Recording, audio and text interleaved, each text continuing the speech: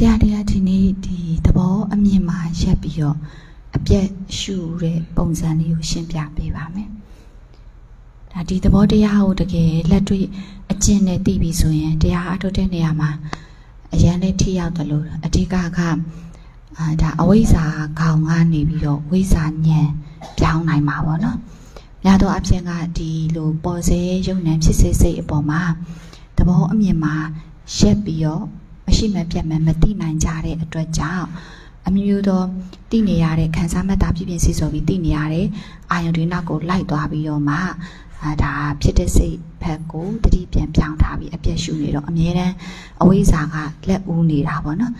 အဲအဲ့ဒီအတွက်ကြောင့်ဒီအဝိဇ္ဇာခေါင်းကနေဝိဇ္ဇာဉာဏ်ပြောင်းအောင်ဘယ်လိုလုပ်မလဲတနည်းအားဖြင့်ပြောရင်တော့ ပရိသသမုပ္ပတ်ဖြတ်တာအနေနဲ့ပြောမယ်ဆိုရင်ပရိသသမုပ္ပတ်ဖြတ်တဲ့နေရာမှာဟိုဆရာတော်ဘုရားကြီးလည်းမကြာခဏဟောတယ်ဆရာကြီးလည်းမကြာခဏရှင်းပြတယ်ပေါ့နော်စလေဆုံးဖြတ်တယ်ဆိုပြီးရှိတယ်ပေါ့စိတ်စဖြစ်ကြတဲ့ကသဘောအမြင်မှာရက်ပြီးတော့မရှိမပြတ်မှန်တည်တဲ့ဉာဏ်သာဥနိုင်မယ်ဆိုရင်ကိလေသာကိုအဝိဇ္ဇာခေါင်ကနေဖြတ်နိုင်တဲ့ဉာဏ်ဖြစ်မယ်ဆိုတာပေါ့နော်အဲ့လိုမျိုး စိတ်ဆဖြစ်ကြတဲ့ကသဘောအမြင်မှာရက်ပြီးမရှိမပြတ်မှန်မသိနိုင်တဲ့အတွက်ကြောင့်သိနေရတဲ့အာယုံတွေနောက်ကိုလိုက်သွားပြီးတော့ဘာပဲညာပဲဆိုတဲ့အတိတွေထပ်ဖြစ်လာတယ်ဖြစ်ပေါ်လာတယ်အဲ့ဒါအောင်ဆိုရင်တော့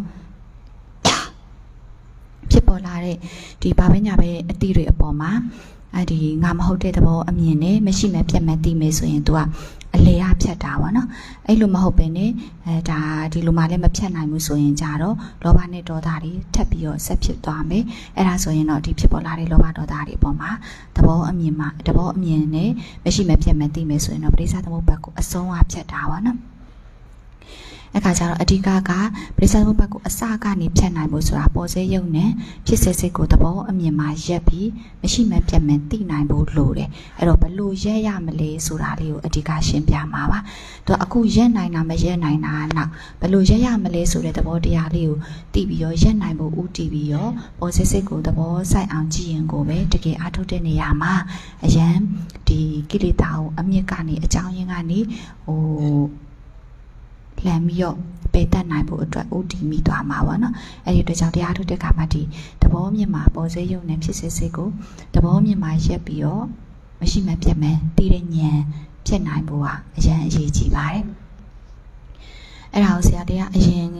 နှုံးကပေါ့နော်။ဘာနဲ့အမြဲတမ်းဥပမာပေးပြီးတော့ရှင်းပြလေးရှိလဲဆိုရင် ဒါပကြီကားဥပမာပေါ့ပကြီကားဆိုရင်ဒါပကြီကားကစီးအယောင်လေးနဲ့ခြေထားတာပေါ့နော်စီးရောင်လေးနဲ့ဥပမာရေတကွန်ပုံလေးရေတကွန်ပုံလေးအာဒါတောတောက်ရင်မြေပုံလေးရေတကွန်ပုံလေးခြေတထားမယ်ပေါ့တကယ်တမ်းကျတော့စီးရောင်တွေပဲအဲဒါဒီရောင်စုံစီးရောင်တွေပဲပေါ့နော် စီးရောင်တွေပဲကိုကိုကကြည့်လိုက်တဲ့အခါကျတော့ဟာဒါဘာပုံတံလဲဒါပကြီကားဘယ်လိုပကြီကားလဲဆိုပြီးတော့ဒီပုံဖော်အသက်သွင်းပြီးဒါကိုကြည့်လိုက်တာဘာဖြစ်မလဲဆိုတာကိုစမြင်ကလေးကတကယ်တော့ဆေးရောင်ကိုဆေးရောင်အမြင်မှာမရက်ပဲနဲ့ဒါဘလို့ပုံတံလဲဘာကိုဆွဲထားတာလဲဆိုတာမျိုးကိုစိတ်ကအသက်သွင်းကြည့်ရတခါခါကျရင်တချို့ပချီကားတွေဆိုရှိရ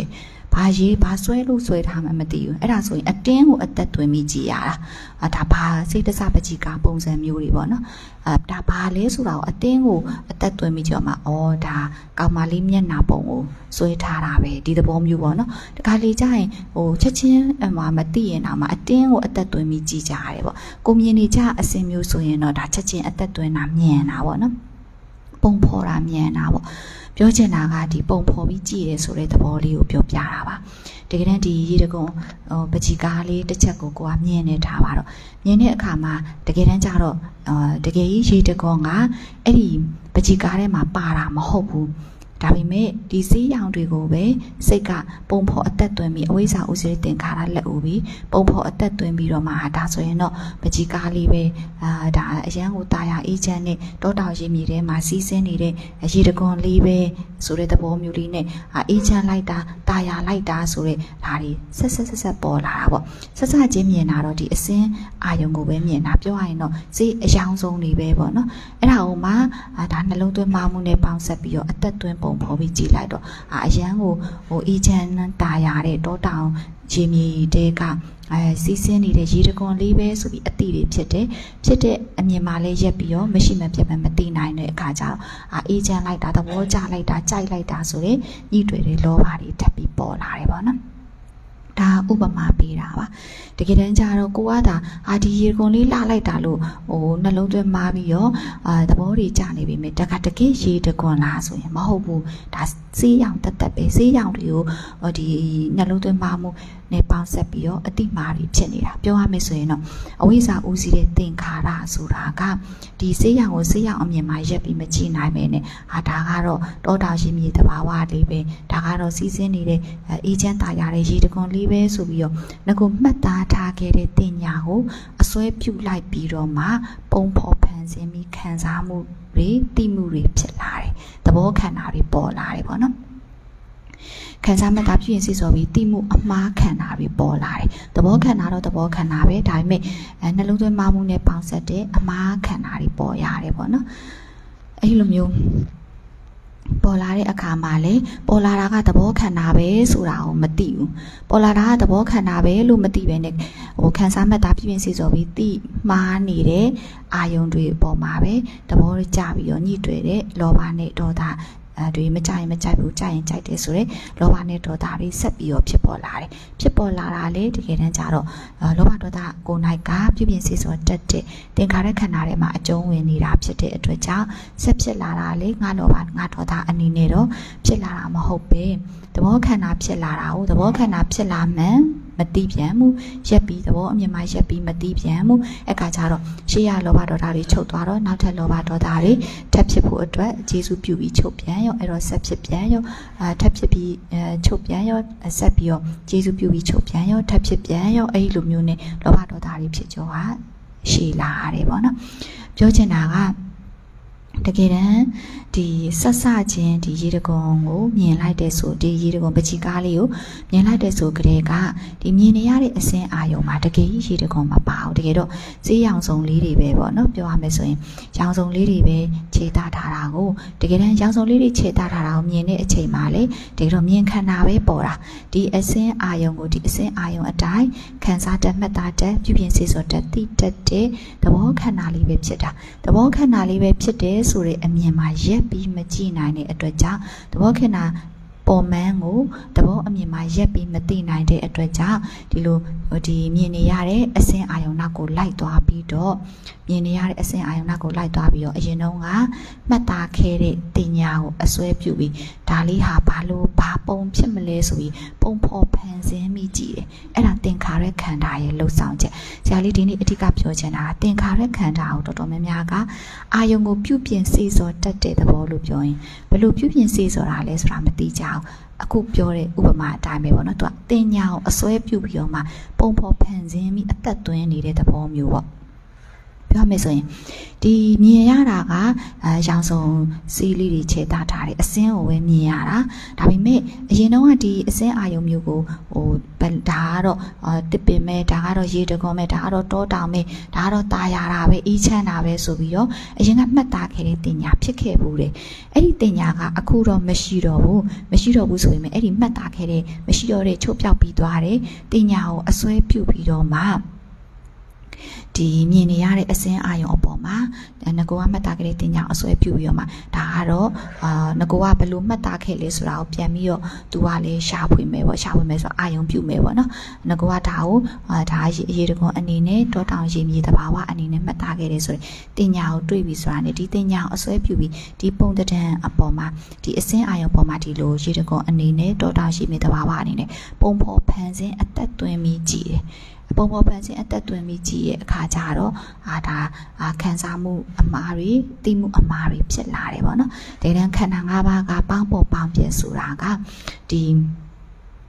မှတ်သားမှုကိုအစွဲပြုပြီးတော့မှဖန်ဆင်းပြီးကြည့်တော့ခံစားမှုနဲ့အတိမာတွေဖြစ်ပေါ်လာရတယ်။ဒါကတစ်ခုချင်းစီပြောနေပေမဲ့တကယ်တော့ပေါင်းပေါ်ပေါင်းပြသဘောခံတာပဲပေါ့နော်။အဲအဲ့လိုမျိုးဒီပေါင်းပေါ်ပေါင်းပြသဘောခံတာအနေနဲ့နှလုံးသွင်းမှာပြီးတော့ပုံပေါ်ဖန်ဆင်းပြုပြင်စေစော်ပြီးအမှတ်မအောင် အကြောင်းပြုပြီးတော့ပုံပေါ်ပန်းချင်းပြုပြင်စေစော်ပြီးတော့ခံစားမှုနဲ့တိမှုအမှားတွေဖြစ်ပေါ်လာတာဒီရေတကွန်ပုံလေးကလှလိုက်တာတာယာလိုက်တာဆိုတဲ့အတိမာတွေဖြစ်လာတယ်ဖြစ်လာခဲ့ဒီတိုင်အောင်တကယ်ကြီးရေတကွန်ကြီးတကယ်ကိုကရေတကွန်လို့နှလုံးသွင်းမှားလိုက်လို့တကယ်ဒီဒီအစင်းအာယုံမှာဒီပကြီးကားကြီးမှာတကယ်ရေတကွန်နေအနေနဲ့အသက်ဝင်သွားလားဆိုရင်မဝင်သွားဘူးကိုယ်စိတ်ထဲမှာသာ အသက်ဝင်နေတာကိုယ်စိတ်ထဲမှာလားခံစားမှုမှတ်သားမှုပြည့်ပြည့်စုံစုံမှုသိမှုအမှားတွေဖြစ်နေတာပေါ့နော်တကယ်ကြီးအပြင်အာယုံအစစ်မှာကအာဒီကိုယ်နှလုံးသွင်းမှားပြီးအတိမှားနေတဲ့အတိုင်းအာဒါရေတကုံကြီးအနေနဲ့တကယ်ဖြစ်တည်နေခြင်းမရှိဘူး အဲ့ဒီအချိန်မှလည်းအဲဒါဒီလိုမျိုးဒီရေတခွန်လေးကတာယာလိုက်တာအေးချမ်းလိုက်တာလှလိုက်တာဆိုတဲ့အဲဒီခန်းစားမှတ်တာပြည့်စုံပြီးသိမှုအမှားတွေဖြစ်ပေါ်လာပေမဲ့လေဒီပေါက်ပြန်ခန်းစားမှတ်တာပြင်သိတတ်တဲ့သဘောခန္ဓာဖြစ်မှန်းမသိဘဲနဲ့ခန်းစားမှတ်တာပြည့်စုံပြီးသိထားတဲ့ပုံပေါ်ဖန်ဆင်းခန်းစားမှတ်တာပြည့်စုံပြီးသိထားတဲ့အာယုံတွေကိုပဲအဲအာယုံနောက်ကိုပဲလိုက်ပြီးတော့အာဒီ နောက်ထပ်ခံစားမှတ်တာပြင်းစစ်ဆိုတိမှုအမားတွေထက်ထက်ဖြစ်ပြီးတော့အတိမာတွေထက်ထက်ပေါ်ပြီးတော့ဒီလောဘအာကောင်းတဲ့လူနှလုံးသွင်းတော့လောဘပေါ့နော်မကောင်းမှုလို့နှလုံးသွင်းရင်တော့ဒေါသတွေဆက်ပြီးပေါ်လာကြတယ်ပေါ့တကယ်တမ်းကဒီဘာပဲညာပဲအဲဒါရေတကောပုံလေးပဲအဲကောင်းတာပဲလှတာပဲအေးချမ်းသာရတာပဲဆိုပြီးနှလုံးသွင်းမှားပြီးတော့အတိမားတွေဖြစ်လာခဲ့ရင်တော့မှဒီလိုဖောက်ပြန်ခံစားမှတ်တာပြင်တိတက်တဲ့အဲတဘောခန္ဓာဖြစ်မှန်ကိုတဘောအမြင်မှာ ပြန်ပြီးတော့ရက်ပြီးမကြည့်နိုင်ဘူးဆိုရင်လောဘဒေါသတွေဆက်ပေါ်လာမယ်။အဲဒီနေရာမှာအာဒီလိုနှလုံးသွင်းမှာပြီးတော့ဖြစ်ပေါ်လာတဲ့အတိမားတွေအပေါ်မှာလေတကယ်ကြီးအဲနှလုံးသွင်းမှာပြီးသိနေတဲ့အတိုင်းတကယ်ကြီးအာယုံမှာအသက်ဝင်သွားတာမဟုတ်ပဲဖောက်ပြန်ခံစားမှတ်တာဖြစ်ဖြစ်သိတတ်တဲ့သဘောခန္ဓာတာလင်တကယ်ဖြစ်ပြီးပြတ်တာပဲဆိုတဲ့သဘောမျိုးနဲ့သဘောအမြင်မှာရက်ပြီးကြည့်တတ်မယ်ဆိုရင်မရှိမပြတ်မှန်းသိတယ်ပြိဿဘုဘက်ကိုအလေရဖြတ်နိုင်နေဉာဏ်ဖြစ်မယ်ပေါ့ အဲ့ဒီနေရာမှာလည်းမရက်နိုင်ပဲねအဲဒီလိုမျိုးကောင်းတယ်လို့ဟိုနှလုံးသွင်းမှာတော့လောဘဖြစ်အဲဆိုးတယ်လို့နှလုံးသွင်းမှာတော့ဒေါသဖြစ်သွားမယ်ဆိုရင်လောဘဒေါသတွေဖြစ်ခဲ့သည့်တိုင်အောင်ဖြစ်ပေါ်လာတဲ့လောဘဒေါသတွေကိုနိုင်ကလည်းငါလောဘငါဒေါသအနေနဲ့ဖြစ်တာမဟုတ်ပဲဖောက်ပြန်ခံစားမှတ်တာပြင်တိတက်တဲ့သဘောခန္ဓာအနေနဲ့သာပေါ်ပြီးပြောင်းတာပဲလောဘဒေါသဆိုတာကပြုပြင်စေစောတက်တဲ့သင်္ခါရခန္ဓာထဲမှာအကျုံးဝင်တယ်ပေါ့နော်ပြုပြင်စေစောတက်တဲ့သ င်္ခါရခန္ဓာဥစီးတဲ့ဥဆောင်တဲ့သဘောခန္ဓာအနေနဲ့သာဖြစ်ပြီးပြက်နေတယ်ပေါ့အဲ့တော့လောဘဒေါသဖြစ်ခဲ့တဲ့တိုင်အောင်သဘောခန္ဓာဖြစ်မှန်းမသိပဲနဲ့အဲဒီလောဘဒေါသဖြစ်စရာအာယုဏကိုလိုက်ပြီးတော့လောဘဒေါသတွေထပ်ပြီးဖြစ်ခွင့်ပေးနေမယ်ဆိုရင်ဒီလောဘဒေါသတွေဖြစ်ကျော်ရှိလိမ့်မယ်လောဘဒေါသတွေဖြစ်ခဲ့တဲ့တိုင်အောင်တကယ်ဖောက်ပြန်ခံစားမှတ်တာပြင်တိတက်တဲ့ သဘောခန္ဓာဖြစ်ပြီးပြတ်တာပဲဆိုတဲ့အမြင်မှာရက်ပြီးမရှိမပြတ်မသိနိုင်မယ်ဆိုရင်ဒီလောဘနဲ့ဒေါသတွေဆက်ပြီးဖြစ်ပေါ်မလာတော့ထပ်ပြီးဖြစ်ပေါ်မလာတော့ဘူးပေါ့အဲ့ဒါကတော့ပရိစ္ဆသမုပ္ပါကိုအဆုံးကနေဖြတ်တာပါနော်အခါကျတော့ဒီပေါ်စေးစိတ်ကိုသဘောအမြင်မှာရက်ပြီးကြည့်တယ်ဆိုတာကအဓိကကဒီတိနေရခံစားမှတ်တာပြည့်စုံဆိုပြီးတိနေရတဲ့အာယုံတွေနောက်ကိုအရင်မလိုက်ဖို့လိုတယ် ခံစားထားမှတ်သားထားပြည့်စုံဆိုပြီးသိနေရတဲ့အာယုံတွေနောက်ကိုအရင်လိုက်မိပြီဆိုတာနဲ့အာယုံနောက်ကိုလိုက်မိပြီဆိုတာနဲ့ဒါငကိုတော့ကဒီအာယုံအပေါ်မှာဘယ်လိုမျိုးမှတ်သားခဲ့လဲဆိုတဲ့တင်ညာကိုအစွဲပြုပြီးတော့မှပုံဖော်ဖန်ဆင်းတဲ့သင်္ခါရသင်္ခါရခန္ဓာရဲ့ပုံဖော်ဖန်ဆင်းတတ်တဲ့သဘောကလက်ဦးသွားလိမ့်မယ် အအဝိဇ္ဇာဥစည်းတဲ့သင်္ခါရခန္ဓာဆိုတာဒါမျိုးကိုပြောတာပေါ့နော်ဥပမာခုနဥပမာအတိုင်းပြန်ပြီးပြောပြမယ်ဆိုရင်ဒီဈေးရောင်စုံနဲ့ခြေသားထားတဲ့ပကြီကားတစ်ချက်ကိုကြည့်တဲ့နေရာမှာဒီဈေးရောင်အမြင်မှာရက်ပြီးတော့မကြည့်နိုင်ဘူးဆိုရင် ဒါဘလို့ပုံတတန်လဲဒါဘာလဲဆိုပြီးတော့အာဒီငကိုတော့ကမှတ်သားခဲ့တဲ့တင်ညာကိုအစွဲပြုပြီးတော့မှပုံဖော်ဖန်ဆင်းအသက်သွင်းပြီးတော့ခံစားမှုမှတ်သားမှုပြပြစီစုံမှုတိမှုအမှားတွေဖြစ်ပေါ်လာကြရတယ်ပေါ့နော်အဲ့လိုပဲအရင်ဦးဆုံးခန္ဓာမှာတတိကတ်တဲ့နေရာမှာရုပ်အနေနဲ့စပြောမယ်ဆိုရင်ရုပ်ဆိုတာကဖောက်ပြန်ပျက်စီးတတ်တဲ့သဘောပေါ့နော်ရူပခန္ဓာဖောက်ပြန်ပျက်စီးတတ်တဲ့သဘောပါ ဖောက်ပြန်ပျက်စီးတတ်တဲ့သဘောဆိုတာကအလွယ်ပြောတာပေါ့နော်အဲ့ဒါကိုအသေးစိတ်ပြောမယ်ဆိုရင်တော့ဘလို့ဖောက်ပြန်ပျက်စီးတတ်တာလဲဆိုရင်သူကဒီပူတက်အေးတက်လှုပ်တက်ငိမ်တက်မာတက်ပြောတက်ယူစီတက်ဖွဲ့စည်းတတ်တဲ့သဘောလေးပေါင်းစည်းထားတာပေါ့ဥပမာဒါကဒါပေါင်းပေါ်ပေါင်းပြက်သဘောခန္ဓာပေါင်းပေါ်ပေါင်းပြက်ဒီရူပခန္ဓာလေးတစ်ခုပေါ့နော်ပေါင်းပေါ်ပေါင်းပြက်တက်ကြီးလေးပါသဘောလေးတစ်ခုပေါ့ဒီအဆက်လေးကထားပါတော့ အဲ့ဒါဆိုရင်ဒီလိုမျိုးပေါင်းပေါ်ပေါင်းပြက်တက်ကြီးလေးပါသဘောလေးတစ်ခုဖြစ်ဖို့အတွက်ပူရင်ပူမယ်မပူရင်အေးမယ်ဆိုတဲ့တေဇောတက်လှုပ်ရင်လှုပ်မယ်မလှုပ်ရင်ငြိမ်မယ်ဆိုတဲ့ဝါရောတက်မာရင်မာမယ်မမာရင်ပြုတ်မယ်ဆိုတဲ့ပထဝီတက်ယူစီရင်ယူစီမယ်မယူစီရင်ဖွဲ့စည်းမယ်ဆိုတဲ့အာဘောတက်ဒီတက်ကြီးလေးပါဓာတ်သဘောလေးတွေပေါင်းစည်းထားတာပါအဲဒါပူတက်အေးတက်ဆိုတဲ့နေရာမှာ ပူမှုအေးမှုဆိုတာထက်ပူတက်အေးတက်ဆိုတာပို့ပြီးသဘောဆိုင်စေတယ်ပေါ့နော်ပူနေတယ်ဆိုဟာဘလို့ကြီးပူနေတယ်အဲဘလို့ကြီးအေးတယ်ဆိုလဲဘလောက်ကြီးအေးနေတယ်ခဲနေအောင်အေးနေတယ်တို့ဟောအရန်ကိုလောင်နေအောင်ပူနေတယ်တို့ပူပုံပူနေတယ်မတူဘူးအေးပုံအေးနေတယ်မတူဘူးအဲ့ဒီလိုမျိုးမဟုတ်ဘူးပူတက်အေးတက်တဲ့သဘောဆိုတာじゃဘလို့ပဲပူပူဘလို့ဘလို့ မျိုးပဲပူပူဘယ်လိုမျိုးပဲအေးအေးအဓိကကပူတက်အေးတက်တဲ့သဘာဝလက္ခဏာရှိတဲ့သဘောကိုအဓိကထားပြီးကြည့်ရတာပူတက်အေးတက်တဲ့သဘာဝလက္ခဏာရှိတဲ့သဘောစိုက်အောင်ကြည့်တတ်ရတယ်ပေါ့နော်လှုပ်တက်ငြိမ်တက်တဲ့သဘောဆိုတဲ့နေရာမှာလေလှုပ်မှုငြိမ်မှုဆိုရင်အခန္ဓာကိုယ်ကြီးကဘလို့ကြီးလှုပ်နေလို့ခန္ဓာကိုယ်ကြီးကအာတောင်းတောင်းကြီးငြိမ်နေတယ်ဆိုတဲ့သဘောမျိုးတွေပြည့်ညက်တွေရော သွားတတ်သေးတယ်တကယ်တမ်းလှုပ်တဲ့ငြိမ်တက်တဲ့သဘောဆိုတာကြတော့လုံးဝပုံတံတွေမပါတော့ဘူးလုံးဝပြည့်ညက်မရောတော့ဘူးပေါ့နော်ပြီးတော့မာတက်ပြော့တက်တဲ့သဘောဆိုရင်လေဘလူကြီးမာနေတဲ့ခြေထောက်ကြားဘလူကြီးတောင်နေတဲ့အဲအဲ့ဒီသဘောမျိုးပေါ့နော်ဘလူပြော့နေဘလူပြော့သွားတယ်အဲ့လိုမျိုးဒီမာမှုပြော့မှုလို့ပြောရင်နာမှပြည့်ညက်လေးနည်းနည်းရောနေတတ်သေးတယ်တကယ်တမ်းကျတော့မာတက်ပြော့တက်တဲ့သဘောဆိုတာကပို့ပြီးတော့သဘောဆိုင်စေတာပေါ့နော် ပြီးတော့နောက်တစ်ခါကျတော့ယူစီတက်ဖွဲ့စည်းတတ်တဲ့သဘောယူစီမှုဖွဲ့စည်းမှုဆိုရင်အားချွေးတွေယူစီပြီးကြာနေတာဟုတ်လေဒါအာဘောတက်ဖွဲ့စည်းနေတာဟုတ်လေအာဘောတက်ဒီလိုမျိုးယူတတ်တယ်ပြောရမယ်ဆိုရင်ပြည့်ညက်ရောနေတတ်သေးတယ်တကယ်တမ်းကျတော့ယူစီတက်ဖွဲ့စည်းတတ်တဲ့သဘောဆိုတာကကြတော့လုံးဝကိုပြည့်ညက်စိတ်သုံးသွားတာပေါ့အဲ့ခါကျတော့ဒီဖောက်ပြန်ပျက်စီးတဲ့ရူပခန္ဓာကိုကြည့်တဲ့နေရာမှာပူတက်အေးတက် လှုပ်တက်ငိမ်တက်မာတက်ပြောတက်ယူစီတက်ဖွဲ့စည်းတက်တဲ့တက်ကြီးလေးပါပေါင်းစည်းတဲ့သဘောအမြင်နဲ့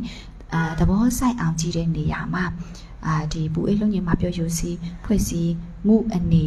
နဲ့ကြည့်တာထက်ပူအေးလုံးငင်မှာပြောယူစီဖွဲ့စည်းတက်တဲ့သဘောအမြင်နဲ့ကြည့်တာကပို့ပြီးတော့သဘောဆိုင်စီရဲ့အတွက်ကြောင့်သဘောအမြင်မှာပို့ပြီး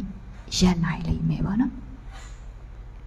အဲ့တော့ဒီနေရာမှာပူတက်အေးတက်တဲ့သဘောလို့ပြောတဲ့နေရာမှာပူရင်ပူမယ်မပူရင်အေးမယ်ပူတာလည်းတီစောတက်အေးတာလည်းတီစောတက်ပဲလှုပ်တက်ငြိမ်တက်တဲ့သဘောလို့ပြောတဲ့နေရာမှာလှုပ်ရင်လည်းလှုပ်မယ်ငြိမ်ရင်လည်းငြိမ်မယ်အဲဒါလှုပ်တက်တာလည်းဝါရောတက်ငြိမ်တက်တာလည်းဝါရောတက်ပဲမာတက်ပြောတက်တဲ့နေရာမှာလည်းမိုင်းမာမယ်မမိုင်းပြုတ်မယ်ပေါ့နော်မာတက်တာလည်းပထဝီတက်ပြောတက်တာလည်းပထဝီတက်ပဲယူစီတက်ဖွဲ့စည်းတက်တဲ့နေရာမှာလည်း ယူစည်းရင်ယူစည်းမယ်ဖွဲ့စည်းရင်ဖွဲ့စည်းမယ်ယူစည်းတက်တာလဲအာဘောတက်ဖွဲ့စည်းတက်တာလဲအာဘောတက်ပေါ့နော်ဒီလိုပူတက်အေးတက်လှုပ်တက်ငြိမ်တက်မာတက်ပြောတက်ယူစည်းတက်ဖွဲ့စည်းတက်တဲ့သဘောဟာပူရင်ပူရင်မယ်မပူရင်အေးမယ်ဆိုတဲ့သဘောရဲ့လှုပ်ရင်လှုပ်မယ်မလှုပ်ရင်ငြိမ်မယ်ဆိုတဲ့သဘောရဲ့မာရင်မာမယ်မာရင်ပြုတ်မယ်ဆိုတဲ့သဘောရဲ့ယူစည်းရင်ယူစည်းမယ်မယူစည်းရင်ဖွဲ့စည်းမယ်ဆိုတဲ့ဒီသဘောလေးတွေပေါင်းစည်းထားတာကိုပဲတက်ကြည့်လေးပါပေါင်းပုံပေါင်းပြန်လို့ပြောတာပါနော်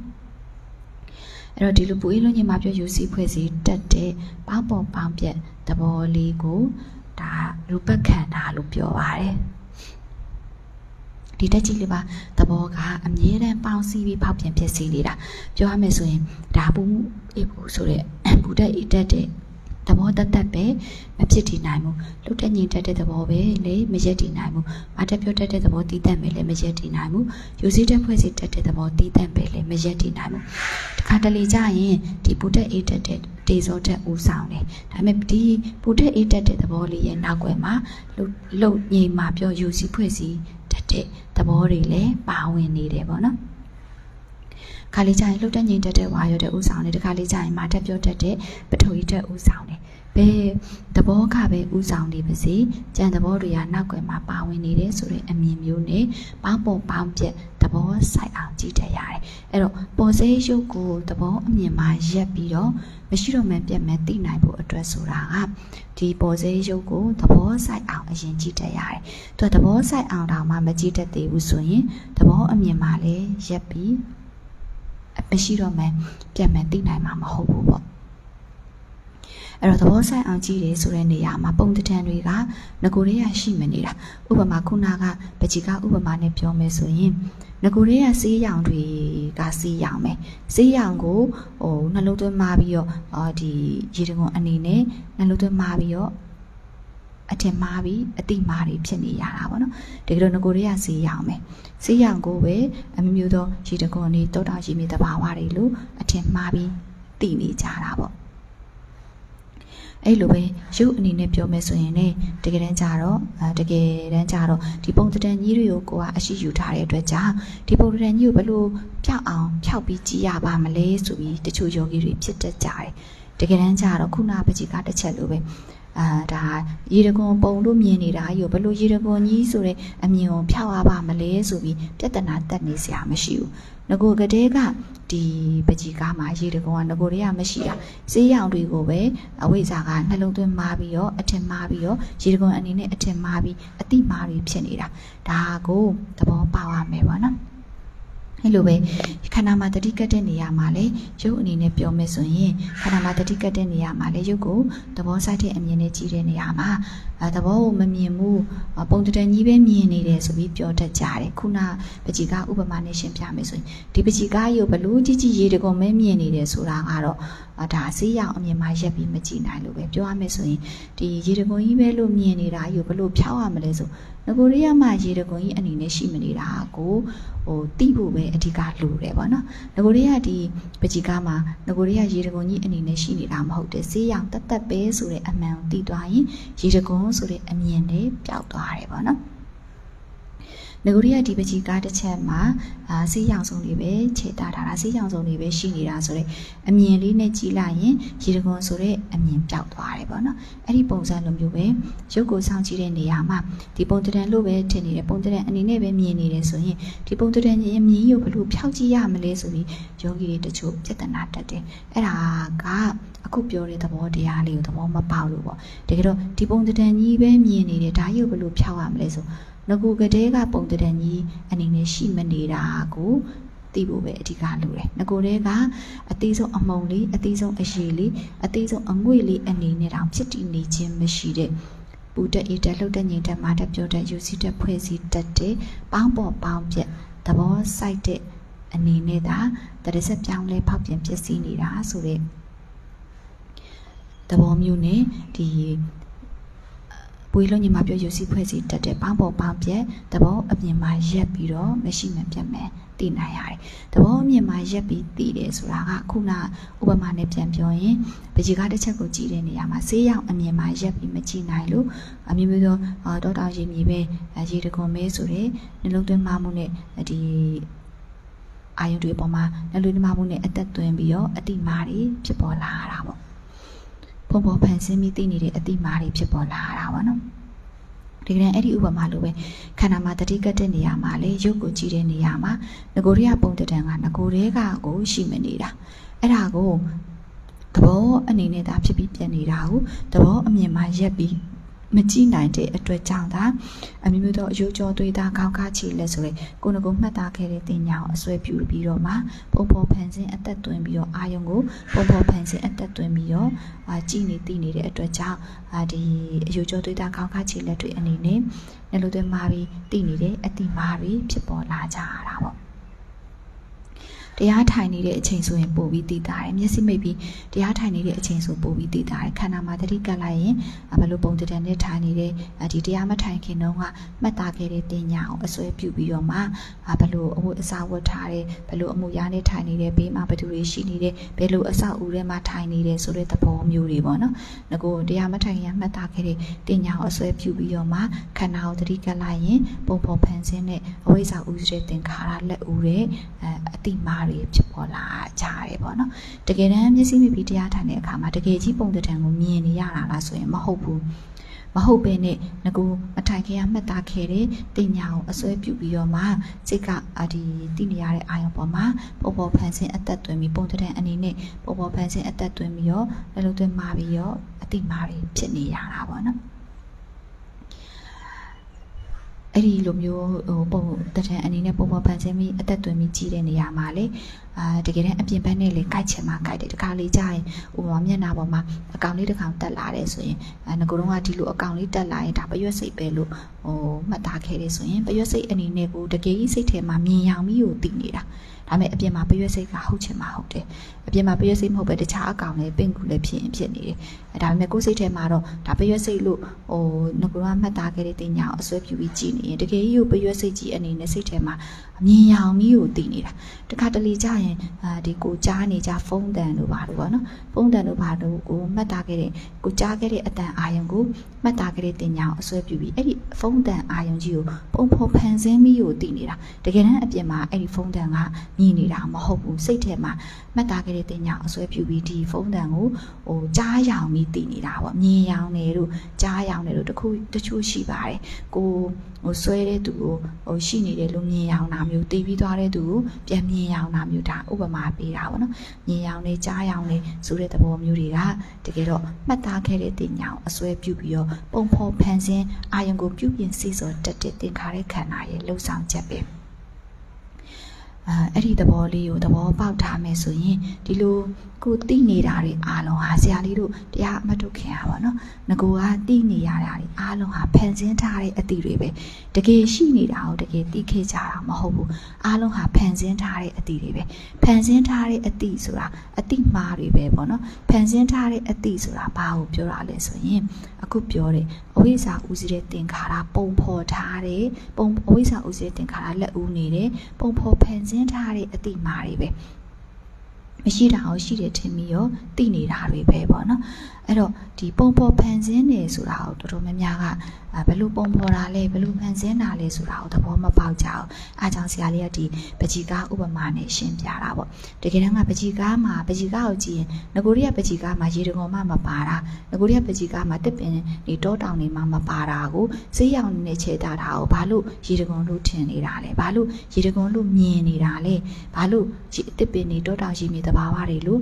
မြင်နေတာလဲဆိုရင်ဒါပုံပေါ်ဖန်ဆင်းပြီးကြည့်နေလို့ဘလို့ပုံပေါ်ဖန်ဆင်းကြည့်တာလဲဆိုရင်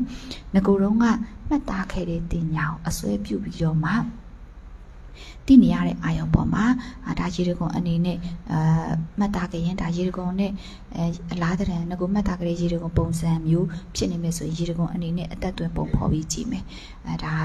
အရင်တော့မှတ်သားခဲ့တဲ့တင်ညာကိုအစွဲပြုပြီးတောတောင်ရှိမြေတဘာဝအနေနဲ့ပုံပေါ်ဖန်ဆင်းမိသိမယ်ဆိုတဲ့သဘောမျိုးတစ်ခါလေးကြာရင်ပထမပြောတတ်လို့ပေါ့စိတ်တကြပကြီးကားတော့ဘာလို့ဆိုရင်ဘာလို့ဆွဲလို့ဆွဲထားမှမသိဘူးအဲ့လိုမျိုးဆိုရင်အာအရန်ကိုအသက်သွင်းရတယ်တော်တော်အချိန်ယူရတယ်အသက်သွင်းမှုအချိန်ယူပြီးအသက်သွင်းတော့မှဩမိန်းကလေးတယောက်ရဲ့မျက်နှာပုံကိုဆွဲထားတာပါလားဆိုပြီးတော့တော်တော်လေးကြာမှသိရတယ်အဲ့ဒီသဘောမျိုးပေါ့နော် ဒါကိုတိနေကြအာအာယုံဆိုရင်တော့ဒါအသက်သွင်းတာမြန်တာပေါ့ပုံဖော်တာမြန်တာပေါ့နော်နောက်တစ်ခုကကြတော့ဥပမာအာဒါကို ကိုချရတဲ့သူတယောက်ယောက်တေဆုံးသွားမယ်ထားပါတော့အဲ့ဒါဆိုရင်ကိုယ့်ရဲ့အစွဲကြောင့်ပဲအတူဟိုနားမှာမြင်အောင်လိုက်ဒီနားမှာမြင်အောင်လိုက်သူ့အတန်းဟိုနားမှာကြားအောင်လိုက်ဒီနားမှာကြားအောင်လိုက်ဆိုတဲ့သဘောမျိုးတကယ်တမ်းသူမဟုတ်ဘူးတကယ်လည်းရှိနေတာမဟုတ်ဘူးဒါပေမဲ့ကိုယ်စိတ်ကမြင်အောင်နေတာဒါကတော့ထင်ရှားတဲ့ဥပမာကိုပြောတာဒါကအကျမ်းစာဥပမာတကယ်တမ်းကျတော့စိတ်တွေအားလုံးမှာအမြဲတမ်းဒီလိုပုံဖော်ဖန်ဆင်းတဲ့အတိမာတွေဖြစ်နေကြတာပေါ့နော်အဲ့ကကြတော့ထင်အောင်မြင်အောင်တွေ ထရမြင်အောင်နေဟိုမြင်အောင်ကြားအောင်နေတဲ့ဆိုတဲ့သဘောတွေကဒါအဝိဇ္ဇာဥစတဲ့သင်္ခါရလက်ဦးနေတဲ့စိတ်တွေဖြစ်နေတာပဲအတိတွေပေါ်နေတာပဲသဘောခန္ဓာတွေဖြစ်နေတာပဲပေါ့ဒါလေးကိုရှင်းပြရတာကပြုအာယုံကိုပြုပြင်စေစောတတ်တဲ့သင်္ခါရခန္ဓာရဲ့လှုပ်ဆောင်ချက်လေးကိုဟိုရှင်းပြတာပါနော်သူကပုံပေါ်ဖန်ဆင်းပြီးတော့အာအာယုံကိုအသက်သွင်းပုံပေါ်မှတ်သားခဲ့တဲ့အတိုင်းမှတ်သားခဲ့တဲ့တင်ညာကိုအစွဲပြုပြီးအသက်သွင်းပုံပေါ်ပြီးတော့အာထင်အောင်မြင်အောင် တွေဖြစ်စေတတ်တယ်ပေါ့နော်အဲ့ခါကျသူကဒီတင်ညာကိုအစွဲပြုပြီးတော့မှအသက်သွင်းပုံတင်ညာအမားကိုအစွဲပြုပြီးတော့မှအသက်သွင်းပုံဖော်ပြီးတော့ထင်အောင်မြင်အောင်တွေဖြစ်စေတဲ့အတိုင်းခံစားမှုနဲ့သိမှုအမှားတွေဖြစ်လာရတယ်အဲ့တော့အမှားရွေးတဲ့သဘောခန္ဓာတွေပေါ်လာရတယ်ညှိတွေ့တဲ့သဘောခန္ဓာတွေဖြစ်လာရတယ်ပေါ့နော်အာဒီအထင်မှအမှတ်မှအတိမားတွေနဲ့အာတွဲနေတဲ့ခံစားမှုမတမှုပြင်းစီစုံမှုတိမှုအမှားတွေဖြစ်ပေါ်လာကြရတယ်ပေါ့နော် ဒါလေးကိုသဘောပေါက်မယ်ဆိုရင်ဒီအမြဲတမ်းပြစ္ဆုတ်ပန်စိတ်မှာလက်ဦးနေတဲ့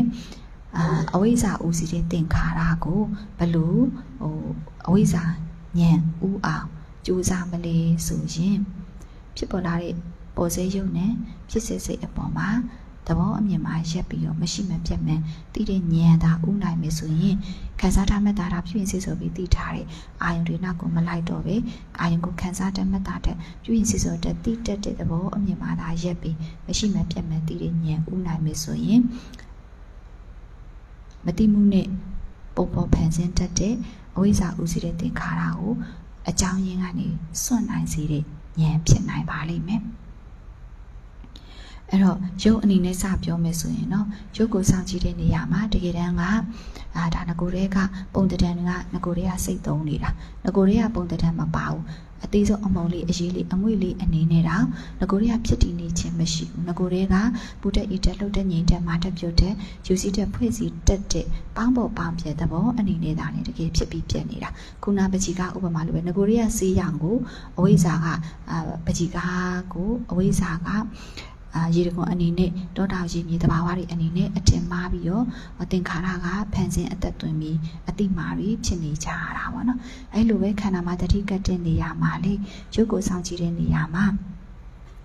တကယ်ဖြစ်ပြီးပြတ်နေတဲ့ရုပ်အစစ်တကယ်ဖြစ်ပြီးပြတ်နေတဲ့အဲပရမတ်ရုပ်သဘောအစစ်မှာ ငကိုတွေကပုံတံတွေမပါဘူးငကိုတွေကအာကောင်းချင်ဆိုးခြင်းတွေမပါဘူးငါတွေတူတွေမပါဘူးငကိုတွေကဒီအယိုးကျိုးသွေးသားကောင်းခါချေလက်တွေအနေနဲ့ဖြစ်တည်နေခြင်းမရှိဘူးအဲ့တော့ဒီပုံတံကြီးကိုဘယ်လိုမြင်အောင်ပုံတံကြီးကိုဘယ်လိုပုံတံအမြင်ကြီးကိုဘယ်လိုပြအောင်ဖြောက်ရမလဲဆိုပြီးတော့လေ တမင်တကာကြီးဖြောင်းနေရတာမဟုတ်ဘူးခုနပကြီးကဥပမာလိုမျိုးပဲငကိုတွေကစေးရောင်ကိုဟိုရေတကုံလို့အထင်မှားနေတာငကိုတွေကစေးရောင်ကိုတောထာရေမြေသဘာဝလို့အထင်မှားနေတာဆိုတာကိုသိလိုက်ရင်ငကိုတွေကပရမတ်တဘောကိုအမျိုးမျိုးပြည့်ညက်တင်ထားတာဆိုတဲ့အမြင်နဲ့ကြီးတက်သွားရင်ဒီလိုရေတကွန်အနေနဲ့ဒါတော့တာရှိမြေသွားဝအနေနဲ့ပုံပေါ်အသက်တွင်ပြီးတော့မြင်ရောင်နေတဲ့အတိမာရီ စိတ်သုံးသွားတယ်ပေါ့နော်အဲ့လိုပဲခန္ဓာမှာတတိကတ်တဲ့နေရာမှာငကိုတွေကပုံတံအနေနဲ့ဖြစ်တည်နေခြင်းမရှိတဲ့အသေးဆုံးအမုံလေးအသေးဆုံးအရည်လေးအသေးဆုံးအငွေ့လေးအနေနဲ့ဒါဖြစ်တည်နေခြင်းမရှိတဲ့ပူတက်အေးတက်လှုပ်တဲ့ငြိမ်တဲ့မာတက်ပြုတ်တဲ့ယူစီတက်ဖွဲ့စည်းတတ်တဲ့ပေါင်းပေါ်ပေါင်းပြက်သဘောဆိုင်တဲ့အမြင်နဲ့သာဒီသဘောအမြင်မှာရက်ပြီးကြည့်တတ်မယ်ဆိုရင်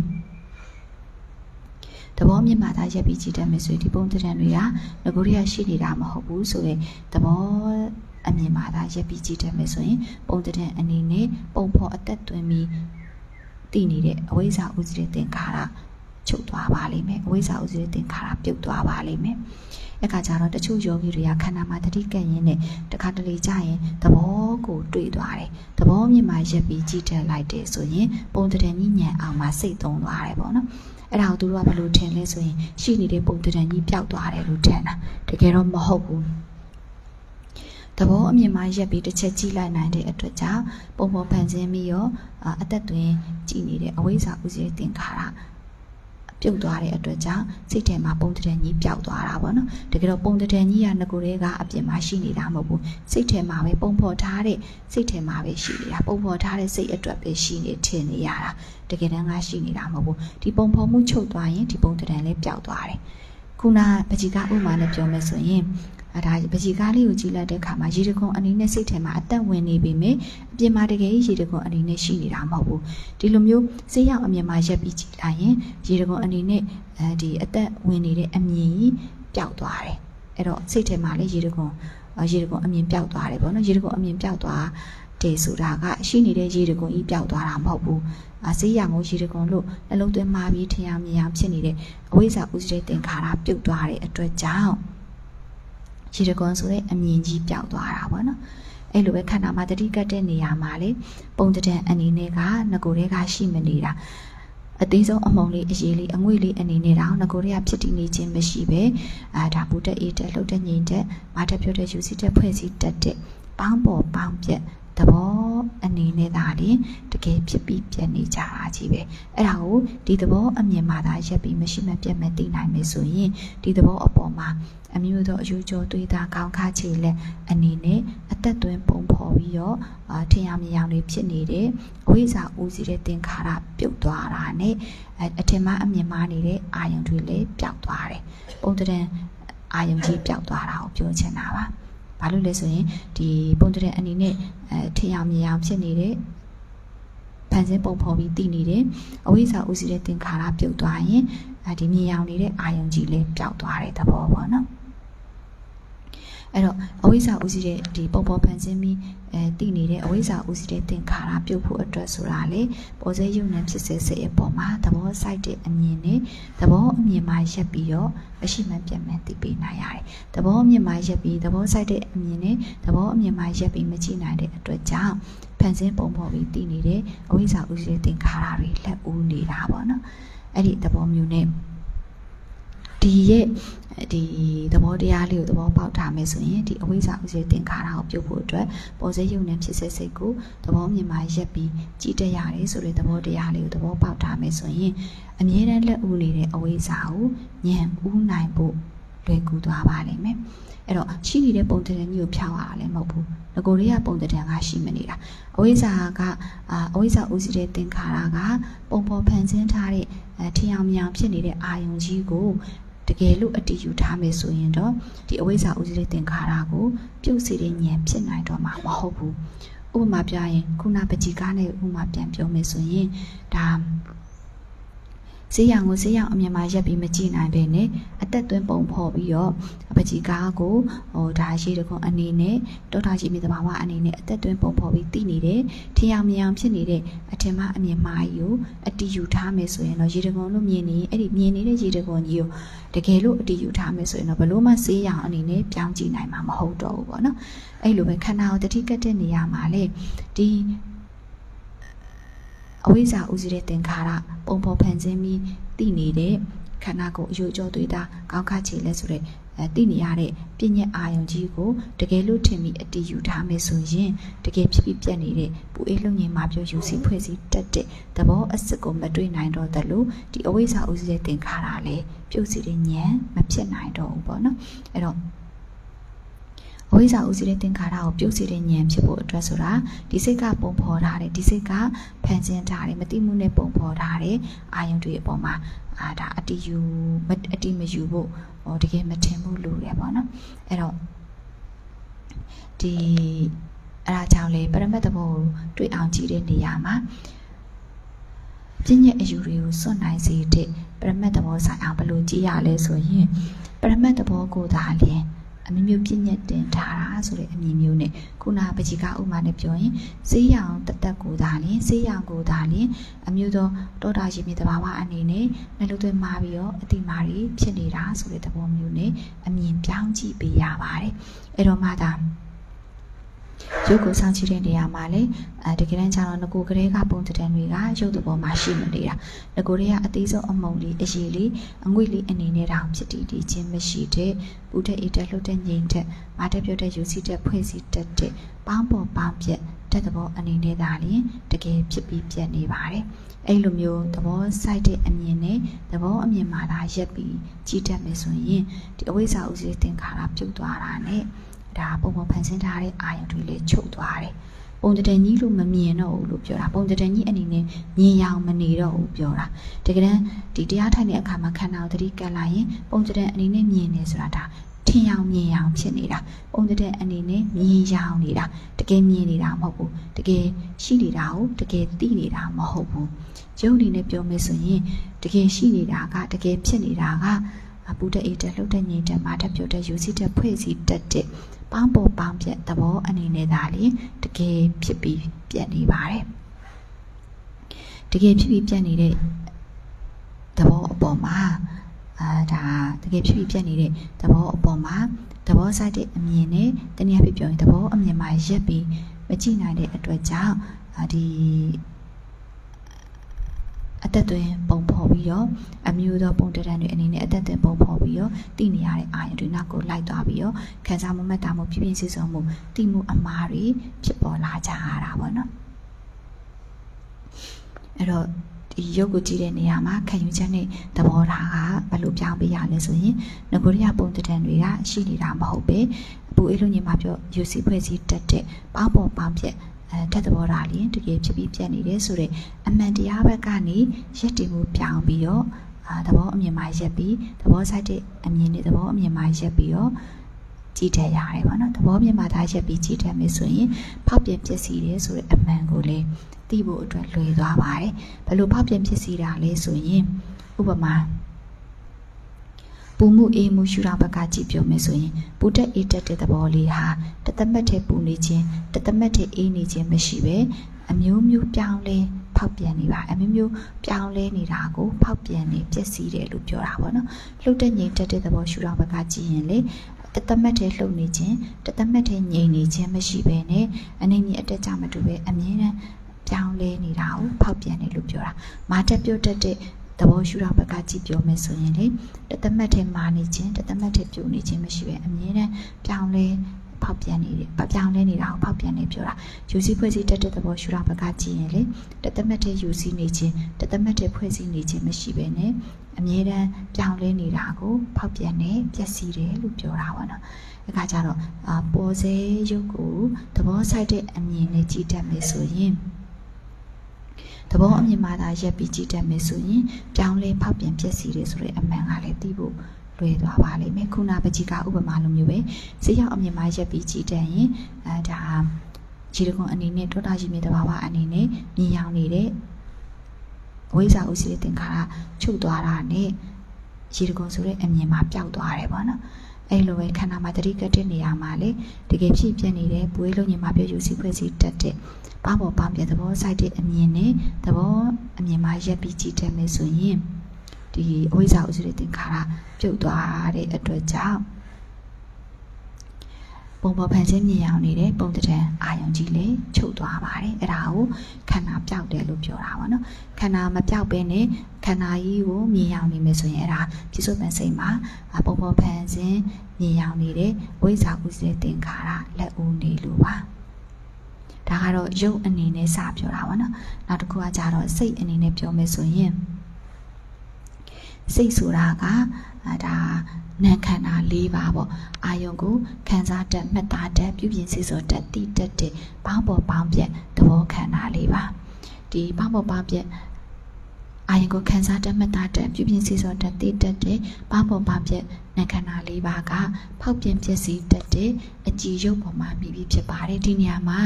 သူမိပြီးဖြစ်တာကဒီနာခန္ဓာ၄ပါးဖြစ်တာကမိပြီးဖြစ်တာကဥရုယုံမှာမိပြီးဖြစ်တာတော့မဟုတ်ဘူးဖောက်ပြန်ပျက်စီးတတ်တဲ့အကြည်ရုပ်မှာမိပြီးဖြစ်တာပါနော်အကြည်ရုပ်ကကြတော့ဘယ်မှာမိလဲဆိုရင်အခုနပြောတဲ့ဘူအေးလုံးကြီးမှာပြောယူစီဖွဲ့စည်းတတ်တဲ့ဖောက်ပြန်ပျက်စီးတဲ့ဥရုယုံမှာပေါ်စိတ်အခိုက်လေးမှာဖောက်ပြန်ပျက်စီးတတ်တဲ့တက်ကြီးလေးပါတော့ပေါ်စိတ်အခိုက်လေးမှာ အကြည်ရုပ်သဘောလေးကမိပြီးပေါ်တယ်အကြည်ရုပ်ရဲ့လှုပ်ဆောင်ချက်ကကြတော့သက်ဆိုင်ရာအာယုံနဲ့တွေ့ဆုံနိုင်ပြီးတော့ဒီအကြည်ရုပ်မှာမိပြီးသက်ဆိုင်ရာစိတ်တွေဖြစ်နိုင်ပါတယ်သက်ဆိုင်ရာအာယုံနဲ့တွေ့ဆုံပြီးတော့သက်ဆိုင်ရာစိတ်တွေမိပြီးပေါ်နိုင်တယ်ဆိုတာကဥမာမျက်စိအကြည့်ဆိုရင်အစင်းအာယုံနဲ့တွေ့ဆုံနိုင်ပြီးတော့မျက်စိအကြည့်မှာမိပြီးမြင်စိတ်ဖြစ်နိုင်တယ် နားကြည့်ဆိုရင်အသက်အာရုံနဲ့တွေ့ဆုံနိုင်ပြီးတော့နားကြည့်မှမိပြီးကြားစိတ်ပေါ်နိုင်တယ်ပေါ့နော်။နှာခေါင်းကြည့်ဆိုရင်အနက်အာရုံနဲ့တွေ့ဆုံနိုင်ပြီးတော့နှာခေါင်းကြည့်မှမိပြီးတော့နံစိတ်ဖြစ်နိုင်တယ်။ရှားကြည့်ဆိုရင်အရသာအာရုံနဲ့တွေ့ဆုံနိုင်ပြီးတော့ရှားကြည့်မှမိပြီးစားစိတ်ပေါ်နိုင်တယ်။ကိုကြည့်ဆိုရင်ထိတွေ့စရာအာရုံနဲ့တွေ့ဆုံနိုင်ပြီးတော့ကိုကြည့်မှမိပြီးထိတွေ့စိတ်ပေါ်နိုင်တယ်။မနှောကြည့်ဆိုရင်ထိတွေ့တွေးသိစရာအာယုံဓမ္မယုံနဲ့တွေ့ဆုံနိုင်ပြီးတော့ဒါတွေ့တော့ချင်စီစိတ်သိစိတ်တွေမိပြီးဖြစ်နိုင်တယ်ပေါ့ အဲ့ဒီသဘောမျိုးနဲ့ကြည့်တတ်မယ်ဆိုရင်အဲဒါအကြည်ရုပ်ဆိုတာအကြည်ရုပ်ဆိုတာကဒီအာယုံနဲ့တွေ့ဆုံနိုင်ပြီးစိတ်မိပြီးဖြစ်ဖို့အတွက်စိတ်မိပြီးဖြစ်နိုင်တဲ့ဒီလှုပ်ဆောင်ချက်လေးတွေလုပ်နေတဲ့သဘောလေးပဲဆိုတဲ့သဘောမျိုးနဲ့သဘောပေါက်ရပါတယ်ဒီအကြည်ရုပ်သဘောလေးတွေကဘာကြောင့်ဖြစ်လာလဲဆိုရင်အတိတ်ကပြုလုပ်ခဲ့တဲ့အဝိဇ္ဇတနာကံ တမှုရိယအတိတ်ဘဝပြုလုပ်ခဲ့တဲ့ငါလို့ထင်မြင်ကြီးတွေ့ခဲ့တဲ့တမှုရိယအကြောင်းကံအစ်စ်ပန့်ပို့လိုက်တဲ့အတွက်ကြောင့်လားအခုမှမရှိရကနေအစ်စ်ရှိလာပြီးချုပ်သွားတာအခုမှမဖြစ်ရကနေအစ်စ်ဖြစ်လာပြီးပြတ်သွားတာပါအကြည့်ရုပ်သဘောလေးမှာလည်းငကိုရီးယားပုံတံတွေမပါဘူးငကိုရီးယားငါရီသူတွေမပါပဲဒါဖောက်ပြန်ပစ္စည်းတဲ့ဥရုယုတ်မှာအပေါ်စေဖောက်ပြန်ပစ္စည်းတက်တဲ့တက်ကြီးလေးပါဥရုယုတ်ပေါ်စေအခိုက်လေးမှာမှီပြီးဖြစ်ပေါ်တဲ့ ဓာတ်သဘောလေးတက်တက်ပဲပေါ့နော်အကြည်တက်လေးသဘောအနေနဲ့ဒါဖြစ်ပြီးပြည့်နေရပါတယ်အဲ့ဒီအကြည်ဓာတ်နဲ့အဲ့ဒီအကြည်ယုံနဲ့အာယုံအာယုံငါကြတော့ဘာတွေလဲဆိုရင်အစင်းအတန်အနံ့အရာသာထိတွေ့စရာနဲ့တွေးစရာသိစရာဓမ္မယုံပေါ့နော်ဒီအာယုံတက်တွေမှာလည်းအာယုံတက်တွေဖြစ်တဲ့အစင်းအတန်အနံ့အရာသာထိတွေ့စရာနဲ့တွေးသိစရာအာယုံတက်တွေမှာလည်း ခုနကဝိဇာကအထင်မှားနေတဲ့အတိုင်းအမျိုးသောယောက်ျားတွေမိန်းမတွေပုဂ္ဂိုလ်တွေတ attva တွေအမျိုးသောအတန်တွေဘယ်သူအတန်ပဲဝအတန်တွေဘယ်သူတွေပဲဝတွေပဲချိန်တွေပဲနေရာတွေအနေနဲ့ကောင်းတာတွေဆိုတာတွေအနေနဲ့တကယ်ဖြစ်တည်နေခြင်းမရှိဘူးအာယုံကအာယုံမှာလေအဝိဇ္ဇာကအထင်မှားတဲ့အတိုင်းအမျိုးမျိုးသောပုံတံတွေအနေနဲ့အမျိုးသောပုံကိုယ်တွေတ attva တွေကောင်းတာတွေဆိုတာတွေအချိန်တွေနေရာတွေအနေနဲ့ တကယ်ဖြစ်တည်နေခြင်းဘာမှမရှိဘူးပေါ့အစင်းကအစင်းပဲပုဂ္ဂိုလ်တ attva မဟုတ်ဘူးအစင်းကအစင်းပဲဘယ်သူပဲမဟုတ်ဘူးအစင်းကအစင်းပဲကောင်းတာဆိုတာမပါဘူးအစင်းအာယုံတက်အနေနဲ့သာဖြစ်ပြီးပြတ်နေတာပဲအတန်အာယုံအနေနဲ့ပြောရင်လေအတန်ကအတန်ပဲဘယ်သူအတန်ပဲပါအတန်မဟုတ်ဘူးဒီအတန်အာယုံကိုဘယ်သူအပဲပါလို့အထင်မှားနေတာအဝိဇ္ဇာဒီအစင်းအာယုံကိုဘယ်သူပဲပါလို့အထင်မှားနေတာအဝိဇ္ဇာပေါ့ အာအနံ့ကအနံ့ပဲဘာအနံ့ညာအနံ့မဟုတ်ဘူးပန်းနဲ့မစင်နဲ့မဟုတ်ဘူးအနံ့ကအနံ့ပဲဒီအနံ့အာယုံကိုပန်းနဲ့ပဲမစင်နဲ့ပဲလို့အထင်မှားနေတာအဝိဇ္ဇာပေါ့အဲ့လိုပဲအရသာအာယုံကလည်းအရသာအရသာပဲဒီအရသာအာယုံကိုဒါချက်သားပဲဝက်သားပဲလို့အထင်မှားနေတာအဝိဇ္ဇာပေါ့ကောင်းတာပဲဆိုးတာပဲလို့အထင်မှားနေတာအဝိဇ္ဇာပေါ့ အဲ့လိုပဲထိတွေ့စရာအာယုံကလည်းထိတွေ့စရာအာယုံတက်တက်အနေနဲ့ဒါဖြစ်ပြီးပြန်နေတာအာယုံကအာယုံပဲအဲဒီထိတွေ့စရာအာယုံမှာဘယ်သူပဲမပါဘူးအဲ့ဒါကိုထိတွေ့စရာအာယုံမို့ဟိုဒါကောင်းတာပဲဆိုတာပဲဘယ်သူပဲပဲပါပဲလို့အထင်မှားနေတာအဝိဇ္ဇာပေါ့အဲ့လိုပဲမနောဒွါရနဲ့မနောအကြည့်တန်းနဲ့တွေးဆုံနိုင်တဲ့ဓမ္မအာယုံဆိုတဲ့ဓမ္မအာယုံကလေအာယုံတက်တက်အနေနဲ့ဒါဖြစ်ပြီးပြန်နေတာ အာယုံကအာယုံပဲပေါ့နော်ဒီဓမ္မယုံမှာကြတော့နည်းနည်းတော့နှက်နေတာပေါ့ဒီအကြမ်းပြင်းဒီဓမ္မယုံလေးကိုနည်းနည်းလေးရှင်းပြမယ်ဆိုရင်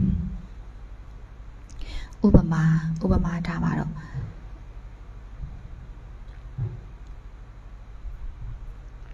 တရားရောက်အကြောင်းတွေးတဲ့အတွေ့ပေါ်လာမယ်ပေါ့နော်တရားအကြောင်းတွေးတဲ့အတွေ့ပေါ်လာမယ်ဆိုရင်ဘယ်လိုဓမ္မယုံနဲ့မနောဓာတာတွေးဆုံပြီးဒီအတွေ့ဖြစ်လာရတာလဲလို့ပြောမယ်ဆိုရင်အဲ့ဒီတရားရောက် နဲ့တွေ့ခဲ့တုန်းကအဲ့ဒီတရားရောက်နဲ့အဲစကားပြောခဲ့တုန်းကထားပါတော့အဲတရားနဲ့စကားပြောတဲ့အကြောင်းအတွေ့ပေါ်တယ်ထားပါတော့နော်အဲ့ဒီတရားနဲ့တွေ့ခဲ့တုန်းကပြောခဲ့တုန်းကဖြစ်ခဲ့တဲ့သဘောခန္ဓာတွေစိတ်တွေကအခုလက်ရှိမှာလုံးဝမရှိတော့ဘူးချုပ်သွားပြီဒါပေမဲ့သူကမရှိတော့မှုချုပ်ပြောင်းမှုအနေနဲ့ချုပ်ပြောက်သွားတဲ့သဘောခန္ဓာတွေချုပ်ပြောက်သွားတဲ့စိတ်တွေကမရှိတော့မှုချုပ်ပြောင်းမှုအာယုံအနေနဲ့ ဓမ္မယုံအနေနဲ့ပေါ့နော်မနောဓာရနဲ့တွေးဆုံပြီးတွေးဆုံနိုင်တယ်မနောဓာရမှာပြီးပြီးတော့အာဒီလူတို့ချက်စီစိတ်သိစိတ်တွေဖြစ်ပေါ်လာနိုင်တယ်ပေါ့အဲ့တော့ဒီတရားရောက်အကြောင်းဟိုတရားနဲ့စကားပြောခဲ့တဲ့အကြောင်းကိုပြန်ပြီးတွေးတဲ့အတွေ့ပေါ်လာမယ်ဆိုရင်ဒီအတွေ့စိတ်ရဲ့အာယုံကဘာလဲလို့ကြည့်ကြည့်မယ်ဆိုရင်ဒီအတွေ့စိတ်ရဲ့အာယုံကဒီတွေးစိတ်ကိုဖြစ်ပေါ်စေတဲ့အာယုံက မရှိတော့တဲ့အဲ့ဒီတရားနဲ့တွေ့ခဲ့တော့ကဖြစ်ခဲ့တဲ့သဘောခန္ဓာတွေပါပဲအဲ့ဒီတရားနဲ့တွေ့ခဲ့တော့ကဖြစ်ခဲ့တဲ့သဘောခန္ဓာတွေစိတ်တွေက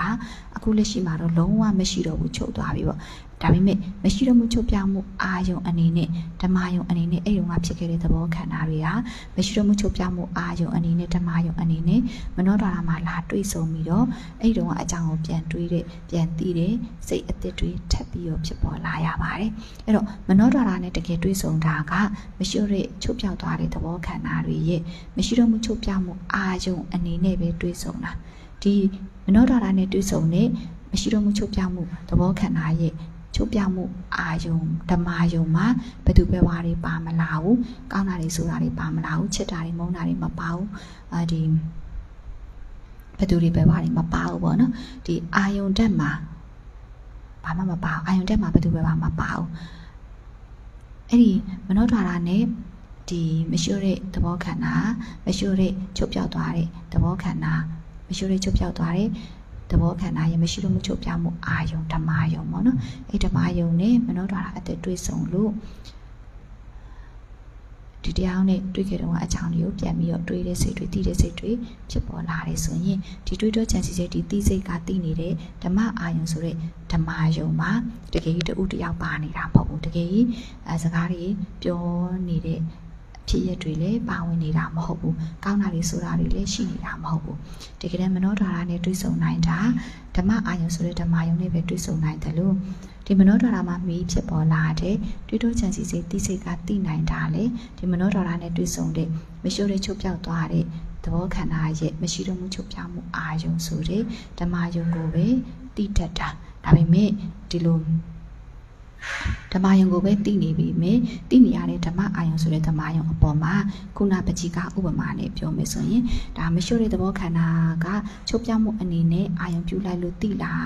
ဖြစ်လာတဲ့သဘောခန္ဓာလေးက သိနေရတဲ့မရှိတော့မှုချုပ်ပြောင်းမှုအာယုံအပေါ်မှာဒါကတော့ဘယ်သူပဲပါပဲဒါကတော့ဘလူတွေပဲစကားပြောခဲ့တာပဲအဲဒါချစ်စရာပဲမုန်းစရာပဲဆိုတဲ့နှလုံးသွင်းမှားမှုတွေနဲ့အတိမာတွေပေါင်းဆက်ပြီးတော့ဖြစ်ပေါ်လာရတယ်ပေါ့နော်တကယ်တမ်းသူသိနေရတဲ့ဓမ္မအာယုံဆိုတဲ့ဓမ္မအာယုံအစစ်မှာအာသူအထင်မှားနေတဲ့အတိုင်းပုဂ္ဂိုလ်တ attva အနေနဲ့တကယ်ဖြစ်တည်နေခြင်းမရှိဘူး သူသိနေတဲ့ဓမ္မအာယုံဆိုတဲ့ဓမ္မအာယုံမှာအာဒါစကားတွေပြောနေတာမပြောနေတာအာကောင်းတာတွေဆိုတာတွေတကယ်မပါဘူးပေါ့နော်အဲ့တော့ဒီအပေါ်မှာဒီမနုဿာရနဲ့တွေ့ဆုံတဲ့ဓမ္မအာယုံဆိုတဲ့ဓမ္မအာယုံအပေါ်မှာလေအယူမစင်ကြမှုတွေကိုစွန့်နိုင်ရတယ်လို့ဒီဓမ္မယုံနဲ့မနောဓာရတွေ့ဆုံလို့ဖြစ်ပေါ်လာတဲ့သဘောခန္ဓာအပေါ်မှာလည်းဖောက်ပြန်ခံစားမှတ်တာဖြစ်ပြင်တိတက်တဲ့အောက်ပေါ်ပေါင်းပြက် သဘောဆိုင်တဲ့အမြင်နဲ့ဒီသဘောအမြင်မှာရက်ပြီးမရှိတော့မှပြတ်မယ်သိပေးနိုင်ရတယ်ပေါ့ဒါတော့ဒါမနောဒရာမှာမီးဖြစ်တဲ့တွေးစိတ်တိစိတ်ကိုအကြမ်းဖြင့်ရှင်းပြပေးတာပါနော်အခါကျတော့ဒီနက္ခဏာ၄ပါးအနေနဲ့ပြောမယ်ဆိုရင် ဒီဖောက်ပြန်မှုအပေါ်မှာပြီးပြီးဖြစ်ပေါ်လာတဲ့အာယုံကိုခံစားမှတ်တာပြင်းစေဆိုပြီးတိတက်တဲ့သဘောခန္ဓာလေးတွေဟာဘာကြောင့်ဖြစ်ပေါ်လာရတာလဲဆိုတော့အတိတ်ကပြုလုပ်ခဲ့တဲ့အဝိဇ္ဇာတဏကံသမှုရအကြောင်းအသက်ပံ့ပိုးမှုရဲ့ပြစ္ဆုတ်ပံဒီအစင်းတန်အနေရတာထိတွေ့စရာတီးစရာဆိုတဲ့အာယုံတွေရဲ့ ဖောက်ပြန်ပျက်စီးတဲ့အကြည်ယုတ်ရဲ့ပေါ့နော်အာယုံနဲ့တွာတာနှစ်ခုတွေ့ဆုံမှုရဲ့ကြောင့်ဒီဖောက်ပြန်ပျက်စီးတဲ့အကြည်ယုတ်မှာမိပြီးတော့အာယုံကိုခန်းစားတတ်မှတ်သားတတ်ပြည့်ပြည့်စုံစုံတတ်တိတက်တဲ့သဘောလေးတွေဖြစ်ပေါ်လာကြရတယ်ပေါ့နော်ဒါပေမဲ့ဒီဖောက်ပြန်ပျက်စီးတဲ့အကြည်ယုံနဲ့တွေ့ဆုံနိုင်တဲ့အစင်းအတန်အနေရတာထိတွေ့စရာနဲ့တွေ့တော့ချင်စီသိစရာအာယုံဓာတ်တွေမှာငကိုတွေကပုံကိုတ attva တွေမပါပါဘူးငကိုတွေက ဒီကောင်းတာတွေဆိုတာတွေအချိန်ကြီးနေရတွေအိုးရင်တိုက်တာတွေအနေနဲ့တကယ်ဖြစ်တည်နေခြင်းဘာမှမရှိဘူးဆိုတော့အာယုံကိုလည်းအာယုံအမြင်မှာပဲရက်ပြီးကြည့်တတ်ရတယ်အာယုံကိုတအုပ်တယောက်အနေနဲ့အသက်သွင်းပြီးမကြည့်ရဘူးအာယုံကိုဘာတညာတန်တွေအနေနဲ့အာယုံကိုဘသူပဲဘာတွေအနေနဲ့အသက်သွင်းပြီးမကြည့်ရဘူးပေါ့နော်အစင်းအာယုံကိုအစင်းအမြင်မှာပဲရက်ပြီးကြည့်တတ်ရတယ်ဘသူပဲဘာအမြင်နဲ့အစင်းကိုအသက်မသွင်းရဘူးအတန်ကိုအတန် အမြင်မှာပဲရက်ပြီးကြည့်တတ်ရတယ်အတန်အာယုံကိုဘာတညာတန်အနေနဲ့အသက်မသွင်းရဘူးအဲ့လိုပဲအနက်အာယုံကိုလည်းအနက်အာယုံအမြင်မှာပဲရက်ပြီးကြည့်တတ်ရတယ်။ဘာနဲ့ညာနဲ့အနေနဲ့ကောင်းတာဆိုတာအနေနဲ့အသက်မသွင်းရအောင်ပေါ့နော်။ဒီအရသာကိုလည်းအရသာအာယုံမှာပဲရက်ပြီးကြည့်တတ်ရတယ်။အဲဒါစက်တာပဲဝက်တာပဲကောင်းတာပဲဆိုတာပဲဆိုပြီးအသက်သွင်းပြီးမကြည့်ရအောင်ပေါ့နော်။အာဒီအထီးတွေးဆိုလည်းအထီးတွေးအာယုံမှာ အထီးတွေးအာယုံကိုလည်းအထီးတွေးအာယုံအမြင်မှာပဲရက်ပြီးကြည့်တတ်ရတယ်။အဲဘာလို့အထီးတွေးပဲအဲကောင်းတဲ့အထီးတွေးပဲဆိုတဲ့အထီးတွေးပဲဆိုပြီးတော့အသက်တွင်းပြီးအာယုံကိုဟိုအမျိုးမျိုးသောအထီးတွေးတွေအနေနဲ့အသက်သွင်းပြီးမကြည့်ရဘူးပေါ့နော်။အဲ့လိုပဲတိစရာအာတိစရာတွေးတောချက်စီစိတ်တိစိတ်ကတိနေရတဲ့အဲတွေးတောချက်စီတိစရာအာယုံပြောမယ်ဆိုရင်တော့ဓမ္မယုံပေါ့နော်။ဓမ္မယုံအပေါ်မှာလည်း အမျိုးသောပုံကိုယ်တွေတ attva တွေအနေနဲ့ကောင်းတာတွေဆိုတာတွေအနေနဲ့အသက်သွင်းပြီးမကြည့်ရဘူးအာယုံကိုအာယုံအမြင်မှာပဲရက်ပြီးကြည့်တတ်ရတယ်အဓိကဓမ္မယုံကြတော့အယမ်းနဲ့နေတယ်အဓိကဓမ္မယုံမှာကမရှိလို့ချုပ်ပြောက်သွားတဲ့စိတ်တွေကမရှိလို့မှုချုပ်ပြောက်မှုအာယုံအနေနဲ့ဓမ္မယုံအနေနဲ့အဓိကကျေစုပြုတယ်ပေါ့နော် ဒီရှေ့စိတ်တွေကမလျှော့တဲ့ရှေ့စိတ်တွေမလျှော့တဲ့သဘောခန္ဓာတွေကအဲ့ဒီနေရာမှာရင်ဖြစ်ပြီးပြတ်သွားပြီဆိုပေမဲ့ဒီသဘောခန္ဓာရဲ့စွမ်းအင်တက်တီကမရှိတော့မှုချုပ်ပြောင်းမှုအာယုံအနေနဲ့ဓမ္မယုံအနေနဲ့ပြန်ပြီးကျေစုပြုတတ်တဲ့နောက်တစ်ဖြစ်တဲ့စိတ်အသစ်တွေကိုပြန်ပြီးကျေစုပြုတတ်တဲ့တက်တီရှိတယ်ပေါ့နော်အဲ့ဒီအတွက်ကြောင့်ဒီမလျှော့တဲ့ချုပ်ပြောက်သွားတဲ့သဘောခန္ဓာတွေကချုပ်ပြောင်းမှု မရှုံမချုပ်ပြမှုအာယုံအနေနဲ့ဓမ္မယုံအနေနဲ့မနောဒါရကိုလာတွေ့ဆုံတဲ့အခါမှာတွေ့တော့ကြံစည်စိတ်တိစိတ်တွေဖြစ်ပေါ်လာရတယ်ပေါ့ဒါပေမဲ့တိနေရတဲ့အာယုံအစစ်တိနေရတဲ့ဓမ္မအာယုံဆိုတဲ့ဓမ္မယုံအစစ်တိနေရတဲ့အာယုံအစစ်မှာတကယ်ကြီးပုဂ္ဂိုလ်တ attva မပါဘူးတကယ်ကြီးဘယ်သူပဲမပါဘူး တကယ်ကြီးကောင်းတာတွေဆိုတာမပါဘူးအဲ့တော့အာယုံကိုဓမ္မယုံကို32ပုံအနေနဲ့အသက်မသွင်းရအောင်အာယုံကိုအာယုံအမြင်မှာရက်ပြီးကြည့်တယ်ရတယ်အာယုံကိုဘယ်သူပဲပါအနေနဲ့အထင်မမှားရအောင်အာယုံကိုအာအာယုံကိုဟောဘာတွေညာတွေအနေနဲ့အဲဒီ အသက်မသွင်းရအောင်ပေါ့နော်အာယုံကိုအာယုံအမြင်မှာပဲရက်ပြီးကြည့်တယ်ရတယ်အာယုံကအာယုံပဲဘယ်သူပဲပါမဟုတ်ဘူးဓမ္မယုံကဓမ္မယုံပဲဘယ်သူပဲပါမဟုတ်ဘူးဓမ္မယုံကဓမ္မယုံပဲ32ပုံမဟုတ်ဘူးဓမ္မယုံကဓမ္မယုံပဲကောင်းတာဆိုတာမပါဘူးအာယုံကိုအာယုံအမြင်မှာပဲရက်ပြီးကြည့်တယ်ရတယ်အာယုံကိုအမျိုးမျိုးသောပုံကိုယ်တွေတ attva တွေအနေနဲ့ကောင်းတာတွေဆိုတာတွေချစ်စရာတွေမုန်းစရာတွေအနေနဲ့အာယုံကိုအသက်မသွင်းရအောင်ပေါ့နော်အာယုံကိုအာယုံအမြင်မှာပဲရက်ပြီးကြည့်တယ်ရတယ် အဲ့ဒီသဘောမျိုးနဲ့ဒီတည်နေရတဲ့အစင်အတန်အနေရတာထိတွေ့စီဟာတွေ့တော့ချင်စီသိစီဟာဆိုတဲ့အာယုံတွေအပေါ်မှာခုနကပကြီးကဥပမာလိုပဲစေးရအောင်အမြင်မှာရက်ပြီးတော့အာကြည့်တတ်မယ်ဆိုရင် အဲဒီအမျိုးမျိုးသောဒေါက်တာရှိမြေတဘာဝအနေနဲ့တာယာလာပါတဲ့ရည်တကွန်အနေနဲ့အသက်သွင်းပုံဖော်ထားတဲ့အမြင်တွေချုပ်သွားတယ်အမြင်တွေပျောက်သွားတယ်ပေါ့နော်အဲ့လိုပဲအာယုံအနေနဲ့ပြောမယ်ဆိုရင်အာယုံကိုအာယုံအမြင်မှာမရက်နိုင်ကြတဲ့အတွက်ကြောင့် အမျိုးသောပုံကိုယ်တွေတတ်တော်တွေအနေနဲ့အာယုံအပေါ်မှာစေးရအောင်စေးရအောင်အမြင်မှာမရက်နိုင်မယ့်ရည်တကွန်အနေနဲ့အသက်သွင်းပြီးကြည့်တယ်လို့ပဲအာယုံကိုအာယုံအမြင်မှာမရက်နိုင်မယ့်နဲ့ဘယ်သူပဲပါအနေနဲ့အစင်းအာယုံကိုအစင်းအာယုံအမြင်မှာမရက်နိုင်မယ့်ဘယ်သူပဲပါအနေနဲ့အသက်သွင်းပုံဖော်ပြီးကြည့်နေတယ်ဆိုရင်ဒါအဝိဇ္ဇာဦးစီးတဲ့သင်္ခါရလက်ဦးနေပြီပေါ့နော်အတန်အာယုံကိုအတန်အာယုံအမြင်မှာရက်ပြီးမကြည့်နိုင်ရင်ဘာတညာတန်အနေနဲ့ရက်ပြီးမကြည့်နိုင်မယ်ဘာတညာတန်အနေနဲ့အသက်သွင်းပုံဖော်ပြီးကြည့်နေမယ်ကြားနေနားထောင်နေမယ်ဆိုရင် ဒါအဝိဇ္ဇာဥစ္စတဲ့သင်္ခါရပြစ္ဆုတ်ပန်စိတ်မှာလက်ဦးနေပြီပေါ့နော်အဲ့တော့အာယုံကိုအာယုံအမြင်မှာမရက်နိုင်ဘဲနဲ့အမျိုးသောပုံတတန်တွေအမျိုးသောပုဂ္ဂိုလ်တွေတ attva တွေကောင်းတာတွေဆိုတာတွေအဲအချိန်နေနေရာတွေအနေနဲ့ချစ်စရာတွေမုန်းစရာတွေအနေနဲ့အာယုံကိုအာယုံအမြင်မှာမရက်နိုင်ဘဲနဲ့အသက်သွင်းပုံဖော်ပြီးတော့ကြည်နေမယ်ဆိုရင်ဒါပြစ္ဆုတ်ပန်စိတ်မှာအဝိဇ္ဇာဥစ္စတဲ့သင်္ခါရ လက်ဦးနေမိပြီဆိုတာကိုသတိထားရမယ်ပေါ့နော်အဲ့တော့ပထမဦးဆုံးအာယုံကိုအာယုံအမြင်မှာသာရက်ပြီးကြည့်တတ်မယ်ဆိုရင်အာယုံအာယုံမြန်မာသားရက်ပြီးကြည့်တယ်မယ်ဆိုရင်အာယုံအပေါ်မှာအမျိုးသောဒီပုံကိုယ်တွေတတ်တော်ရီအနေနဲ့အဲဘာတန်ကြီးညာတန်နေအနေနဲ့ဘသူတွေပဲပါရီအနေနဲ့အသက်သွင်းပုံဖော်ပြီးထင်အောင်မြင်အောင်ဖြစ်နေတဲ့အဲဒီအဝိဇ္ဇာဥစ္စတဲ့သင်္ခါရတွေပြုတ်သွားလိမ့်မယ်ပေါ့နော်အာယုံနဲ့ပတ်သက်တဲ့ အသက်သွင်းပုံဖော်တဲ့အဝိဇ္ဇာဥစ္စသင်္ခါရတွေပြုတ်သွားလိမ့်မယ်ပေါ့အဲ့တော့အာယုံအာယုံအမြင်မှာရက်ပြီးတော့ကြည့်တတ်ရတယ်လို့အာယုံမှာငကိုရိယပုံတတဲ့နေမှာပါအာယုံမှာငကိုရိယပုဂ္ဂိုလ်တ attva မပါဘူးအာယုံမှာငကိုရိယဘသူဘယ်ပါမပါဘူးအာယုံမှာငကိုရိယကောင်းတာဆိုတာမပါဘူးအာယုံကအာယုံအနေနဲ့ဒါဖြစ်ပြီးပြတ်နေတာအာယုံကအာယုံအနေနဲ့ဒါပုံပြီးပြောင်းနေတာဆိုတဲ့သဘောမျိုးနဲ့ဒီအာယုံကိုအာယုံမြန်မာရက်ပြီးကြည့်တတ်ရမယ်ပေါ့နော် ဒါကတော့အာယုံဘိုင်းနဲ့ပတ်သက်ပြီးပြောပြတာပါနောက်တစ်ခုကကြတော့ဒီအာယုံကိုခံစားတတ်မှတ်တာတတ်ပြုပြင်စေစောတတ်သိတတ်တဲ့စိတ်ပိုင်းကိုပြောမယ်ဆိုရင် မရှိရကရှိလာတယ်မဖြစ်ရဖြစ်လာတယ်အဲဒါဖောက်ပြန်ခံစားမှတ်တာပြင်တိတက်တဲ့သဘောခန္ဓာဆိုတာကအခုလက်ရှိမှာပေါ်စေစိတ်လေးတစ်စိတ်ကိုပြောတာပေါ့ပေါ်စေစိတ်လေးတစ်စိတ်ဆိုတာဥမာအခုဟိုမြင်နေတဲ့စိတ်လေးတစ်စိတ်ဒါပါတော့နော်မြင်နေတဲ့စိတ်လေးတစ်စိတ်ရဲ့ပင်ကိုအမှန်ကဖောက်ပြန်ဖြစ်စီတဲ့မျက်စိအကြည့်မှာပြီးပြီးတော့ဒီအစင်းအာယုံကိုခံစားတတ်မှတ်တာတက်ပြုပြင်စေစောတက်တိတက်တဲ့သဘောခန္ဓာလေးပေါပေါ်ပေါပြတ်နေတာ မြင်စိတ်လေးတစ်ခုရဲ့ပင်ကိုအမှန်ကဖောက်ပြဖြစ်စီတယ်အကြည်ရုံမှမိပြီးတော့အစင်းအာယုံကိုခံစားတတ်မှတ်သားတတ်ပြုပြင်စေစောတတ်တိတက်တဲ့သဘာဝလက္ခဏာရှိတဲ့သဘောလေးအနေနဲ့ဖြစ်ပြီးပြတ်နေတာပါအဲ့တော့မြင်တဲ့စိတ်လေးအပေါ်မှာသဘောဆိုင်အောင်ဘယ်လိုကြည့်ရမလဲဆိုရင်ဒါမြင်တဲ့စိတ်လေးမှာပါဝင်တဲ့ ဒီဖောက်ပြန်ခံစားမှတ်တာပြင်တိတက်တဲ့သဘောလေးဟာခံစားမှုသဘောအနေနဲ့ပြောမယ်ဆိုရင်ခံစားတက်တဲ့သဘောအနေနဲ့ပြောမယ်ဆိုရင်ဒီအစင်းအာယုံကိုဒီအစင်းအာယုံအတိုင်းလေးပဲခံစားတာကောင်းတာဆိုတာအနေနဲ့ခံစားတာမဟုတ်သေးဘူးပေါ့နော်ဒါအလေအလက်အတင်းအတင်းခံစားတာပေါ့ဒီနေရာမှာလေခံစားတက်တဲ့သဘောလို့ကြည့်တဲ့နေရာမှာခံစားမှုလို့ပြောရင်အကောင်းဆုံးကြီးပြည့်ညက်တွေရောနေတတ်တယ် ခံငါရဲ့ခံစားမှုပေါ့ခံစားမှုအနေနဲ့ပြောရင်ငါလည်းပါသွားတတ်တယ်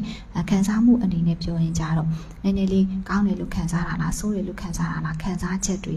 အနေနဲ့ပြည့်ညက်တွေရောနေတတ်တယ်တကယ်ကြတော့ခံစားတတ်တဲ့သဘောဆိုရင်ကြတော့ကောင်းတာဆိုတာတွေမပါတော့အာယုံကိုခံစားတတ်တဲ့တဘာဝလက္ခဏာရှိတဲ့ သဘောဆိုရင်ကြတော့သူကကောင်းတာဆိုတာကိုခံစားတာမဟုတ်တော့ဘူးပေါ့နော်ပရမတ်ပူစိုက်တဲ့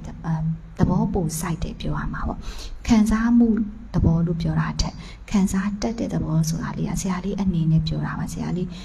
ကိုယ်တိုင်လေးဒီသဘောခန္ဓာကိုစပြီးကြည့်ရနေရမှာဒီအတုံးလုံးလေးကပို့ပြီးတော့သဘောစိုက်တယ်လို့စိတ်ထဲမှာဖြစ်မိတယ်ပေါ့နော်အဲ့တော့ခံစားတတ်တယ်ဆိုတဲ့သဘောကခံစားထားတဲ့အာယုံတွေကိုအဓိက ရည်ညွှန်းချင်တာမဟုတ်ဘူးခံစားတတ်တဲ့သဘာဝလက္ခဏာရှိတဲ့သဘောလေးကိုအဓိကရည်ညွှန်းချင်တာ ခံစားမှုလို့ပြောရင်ကြတော့ခံစားထားတဲ့အာယုံတွေကောင်းခြင်းဆိုခြင်းတွေမသိပဲပါနေတတ်အောင်ပဲပါနေလိမ့်အောင်ပဲခံစားတတ်တဲ့သဘောဆိုတာကြတော့သူကသူဘယ်လိုပဲခံစားခံစားအရေးမကြီးဘူးခံစားထားတဲ့အာယုံတွေကိုအဓိကမရည်ညွှန်းတော့ဘူးပေါ့နော်ခံစားတတ်တဲ့သဘာဝလက္ခဏာရှိတဲ့သဘောလေးကိုသာလေအဓိကရည်ညွှန်းနေအဓိကမိမောင်းထူပြတယ်ဆိုတဲ့သဘောပေါ့ဒါကိုအဓိကပြောတယ်ပေါ့နော်အဲ့တော့ဝေဒနာခန္ဓာဆိုတဲ့အာယုံကိုခံစားတတ်တဲ့တ ဘာဝလက္ခဏာရှိတဲ့သဘောအမြင်နဲ့ပေါ်စစ်စစ်ကိုသဘောဆိုင်အောင်ကြည့်တတ်မယ်ဆိုရင်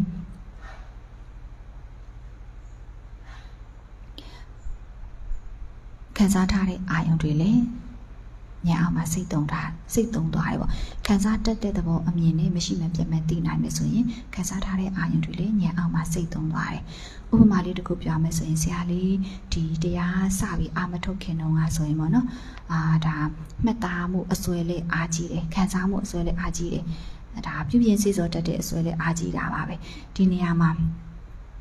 ခံစားချက်တွေလည်းရှိတာပေါ့နော် တခုခုဆိုရင်အရန်ခံစားတတ်တယ်ခံစားတတ်တယ်ဆိုတာဥပမာပြောရင်တယောက်ယောက်ကိုမျက်စောင်လေးထိုးလိုက်တာနဲ့စိတ်ထဲမှာတအားဝမ်းနေတာအရန်ဒီခံစားမှုတွေပြင်းထန်နေပြောရမှာပေါ့နော်ငါအနေနဲ့ခံစားမှုတွေပြင်းထန်နေအဲတခုခုဘာမှလည်းမဟုတ်ပဲနဲ့စိတ်ညစ်ရင်လည်းအကြီးအကျယ်ညစ်နေတတ်တာဘာမှလည်းမဟုတ်ပဲပျော်ရင်လည်းအကြီးအကျယ်ပျော်နေတတ်တာအဲ့လိုမျိုးဒီခံစားမှုမှာအစွဲကြီးတယ်ပဲပြောရမှာပေါ့နော်ခံစားထားတဲ့အာယုတွေအပေါ်မှာလည်းအဲတကယ်ကောင်းတာတကယ်ဆိုအာတယောက်ကကိုယ်ဟိုမကျေနပ်ဘူးမုန်းနေဆိုရင်ဒါဟာတကယ်ကိုမကောင်းဆိုးဝါအရာပဲဒါတယောက်ကကိုယ်မျက်စောင်လေးထိုးလိုက်တာနဲ့ဟာမပြီးတော့ဘူးအိတ်လည်းမပြောတော့ဘူးပြောရရင်အဲအိတ်ပြောသွားရင်တော့အိမ်မက်ထဲမှာငိုနေမိတာဒါဘာမှမဟုတ်ဘူးเนาะဘာကြောင့်လဲဆိုရင်ဒီခံစားထားတဲ့ဒီတယောက်ယောက်ကကိုယ်မျက်စောင်ထိုးတယ်ဆိုတာလုံးဝမကောင်းဘူးဆိုတဲ့ဒီခံစားထားတဲ့အာယုံကြီးကိုအရှိအဟုတ်လုံးမှုအားကြီးတာပေါ့နော်အရှိအဟုတ်လုံးမှုအားကြီးတယ်ငါအနေနဲ့ခံစား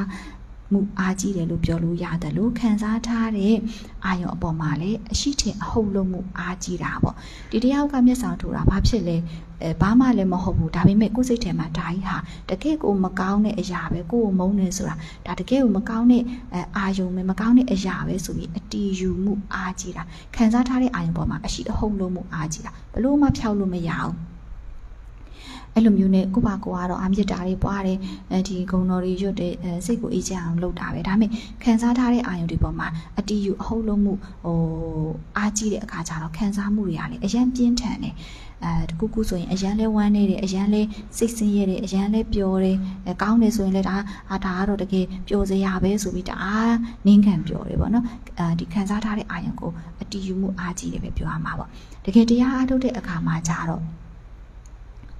ဟိုတကယ်တရားအားထုတ်တဲ့ခါမှာကျတော့ဆက်စချင်းမှာဒီလိုမျိုးခံစားထားတဲ့အာရုံတွေပေါ်မှာအရှိဟုတ်လို့မှုအားကြီးတဲ့ခါကျတော့ဒါကြီးကိုပြောရမယ်ဆိုရင်ဘလို့စွန့်ရမလဲဆိုတဲ့နေရာမှာကျတော့ဟိုတော်တော်ကြီးကိုခက်ခက်ခက်ခဲစွန့်ရမယ်လို့စိတ်ထဲမှာဖြစ်မိတာပေါ့နော်အာဒါတကယ်ကိုဟိုမလွယ်ဘူးလို့ထင်မိတာပေါ့လေဒါပေမဲ့ကိုလို့ဆရာရှာပဲလုပ်တယ်ဘာလို့လုပ်လဲဆိုရင်ဖြစ်ပေါ်လာတဲ့စိတ်အပေါ်မှာဒါခံစားတတ်တာမှန်ရင်ငါမဟုတ်ဘူးဆိုတဲ့ အမြင်မျိုးနဲ့ပေါ့နော်ဒါခံစားမှုအပိုင်းလေးကိုပဲရွေးပြီးပြောပြတာနော်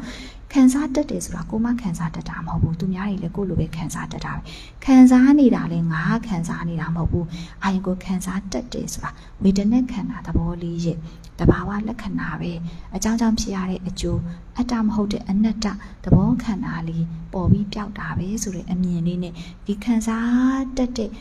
စိတ်အပေါ်မှာ အာရုံကိုခံစားတတ်တဲ့တဘာဝလက္ခဏာရှိတဲ့သဘောစိုက်တဲ့အမြင်လေးနဲ့ပဲမရှိတော့မှပြန်မဲ့သိပေးလာတဲ့အခါမှာခံစားထားတဲ့အာယုံတွေလည်းတခါတည်းတွဲပြီးတော့ခံစားတတ်တဲ့ခံစားထားတဲ့အာယုံတွေပေါ်မှာအရှိတင်အဟုတ်လုံးနေတဲ့အဆွေရလည်းတခါတည်းတွဲပြီးစွန့်နိုင်သွားတာ လုံးဝအာဘသူပဲဘလောက်မျက်ဆောင်ထိုးရုံမကားလို့ဟိုဆရာလေးစပြီးတရားအထုတ်ခါစားဆိုရင်အရန်ကိုအပြောဆိုခံရတယ်ပတ်ဝန်းကျင်ရဲ့အပြောဆိုပေါ့နော်ဘာလို့လဲဆိုရင်အရင်တော့ကကြတော့ဆရာလေးကအမြဲတမ်းဒီလူတွေကိုမြင်စိတ်ချမ်းသာအောင်ဆိုပြီးအမြဲတမ်းဖော်ရွှေပြုံးရွှင်နေတတ်တာပေါ့ဒါပေမဲ့တရားတကယ်စပြီးအထုတ်တဲ့ခါမှာအဲ့ဒီစိတ်အလီအကျင့်အကုန်လုံးကိုစွန့်ပစ်လိုက်တာ စကားလာပြောရင်တော့ပြန်မပြောတဲ့အထီပေါ့နော်ဘာလို့ပြန်မပြောတာလဲဆိုရင်အစွဲနဲ့ပြောမိမှာဆိုလို့ဒီဟာကိုမစွန့်နိုင်သေးလို့ပေါ့နော်အဲ့ခါကျတော့လူတွေရဲ့မုန်းတီးမှုတွေအများကြီးခံရတယ်အဲဒါတကယ်တမ်းအရင်တော့ကဆိုရင်တယောက်ယောက်ကကိုနဲ့မတိတဲ့တယောက်เนาะတိတဲ့တယောက်မဟုတ်မတိတဲ့တယောက်ကမျက်ဆောင်ထိုးရင်တော့မှညဘက်အိပ်ပျော်နေရင်တော့ငိုမျက်ရည်ကြီးကြပြီးငိုနေရလောက်တဲ့အထိ အစွဲကြီးတာပြောရမယ်ဆိုရင်ခံစားမှုအစွဲကြီးတာပေါ့နော်တကယ်လည်းတရားစအားထုတ်တဲ့အခါကျတော့ငါရဲ့ခံစားမှုဆိုတဲ့အယူစွန့်လိုက်တယ်လို့ဒီခံစားတတ်တဲ့စိတ်အပေါ်မှာ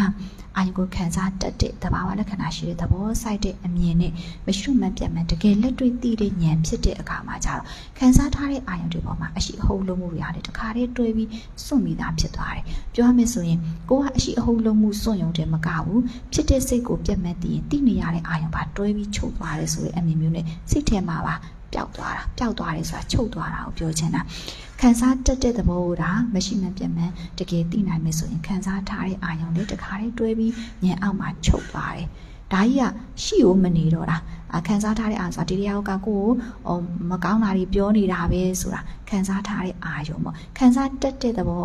ကိုနိုင်ကမရှိမပြတ်မသိပေးလိုက်ရင်ခံစားထားတဲ့အာယုံတွေတခါတည်းတွဲပြီးချုပ်သွားတော့စိတ်ထဲမှာအာဒီတယောက်ကကိုမဟုတ်တာတွေပြောနေတယ်မကောင်းတာတွေပြောနေတယ်ဆိုရင်အာယုံကြီးအနေနဲ့စိတ်ထဲမှာအဖက်တင်ပြီးကြံရစ်မနေခဲ့ဘူးအဲ့ဒါကြောင့်ဒါနဲ့ပတ်သက်တဲ့အာဟိုမကြိုက်တဲ့အဲမကျေနပ်တဲ့ဝမ်းနေတဲ့အဲခံစားအမှုတွေလည်းထပ်ပြီးစိတ်တွေလည်းထပ်ပြီးဖြစ်မလာတော့ဘူးပေါ့တကယ့်ကိုလက်တွေ့ ဟိုလက်တွေ့မှာကိုဒီကိလေသာ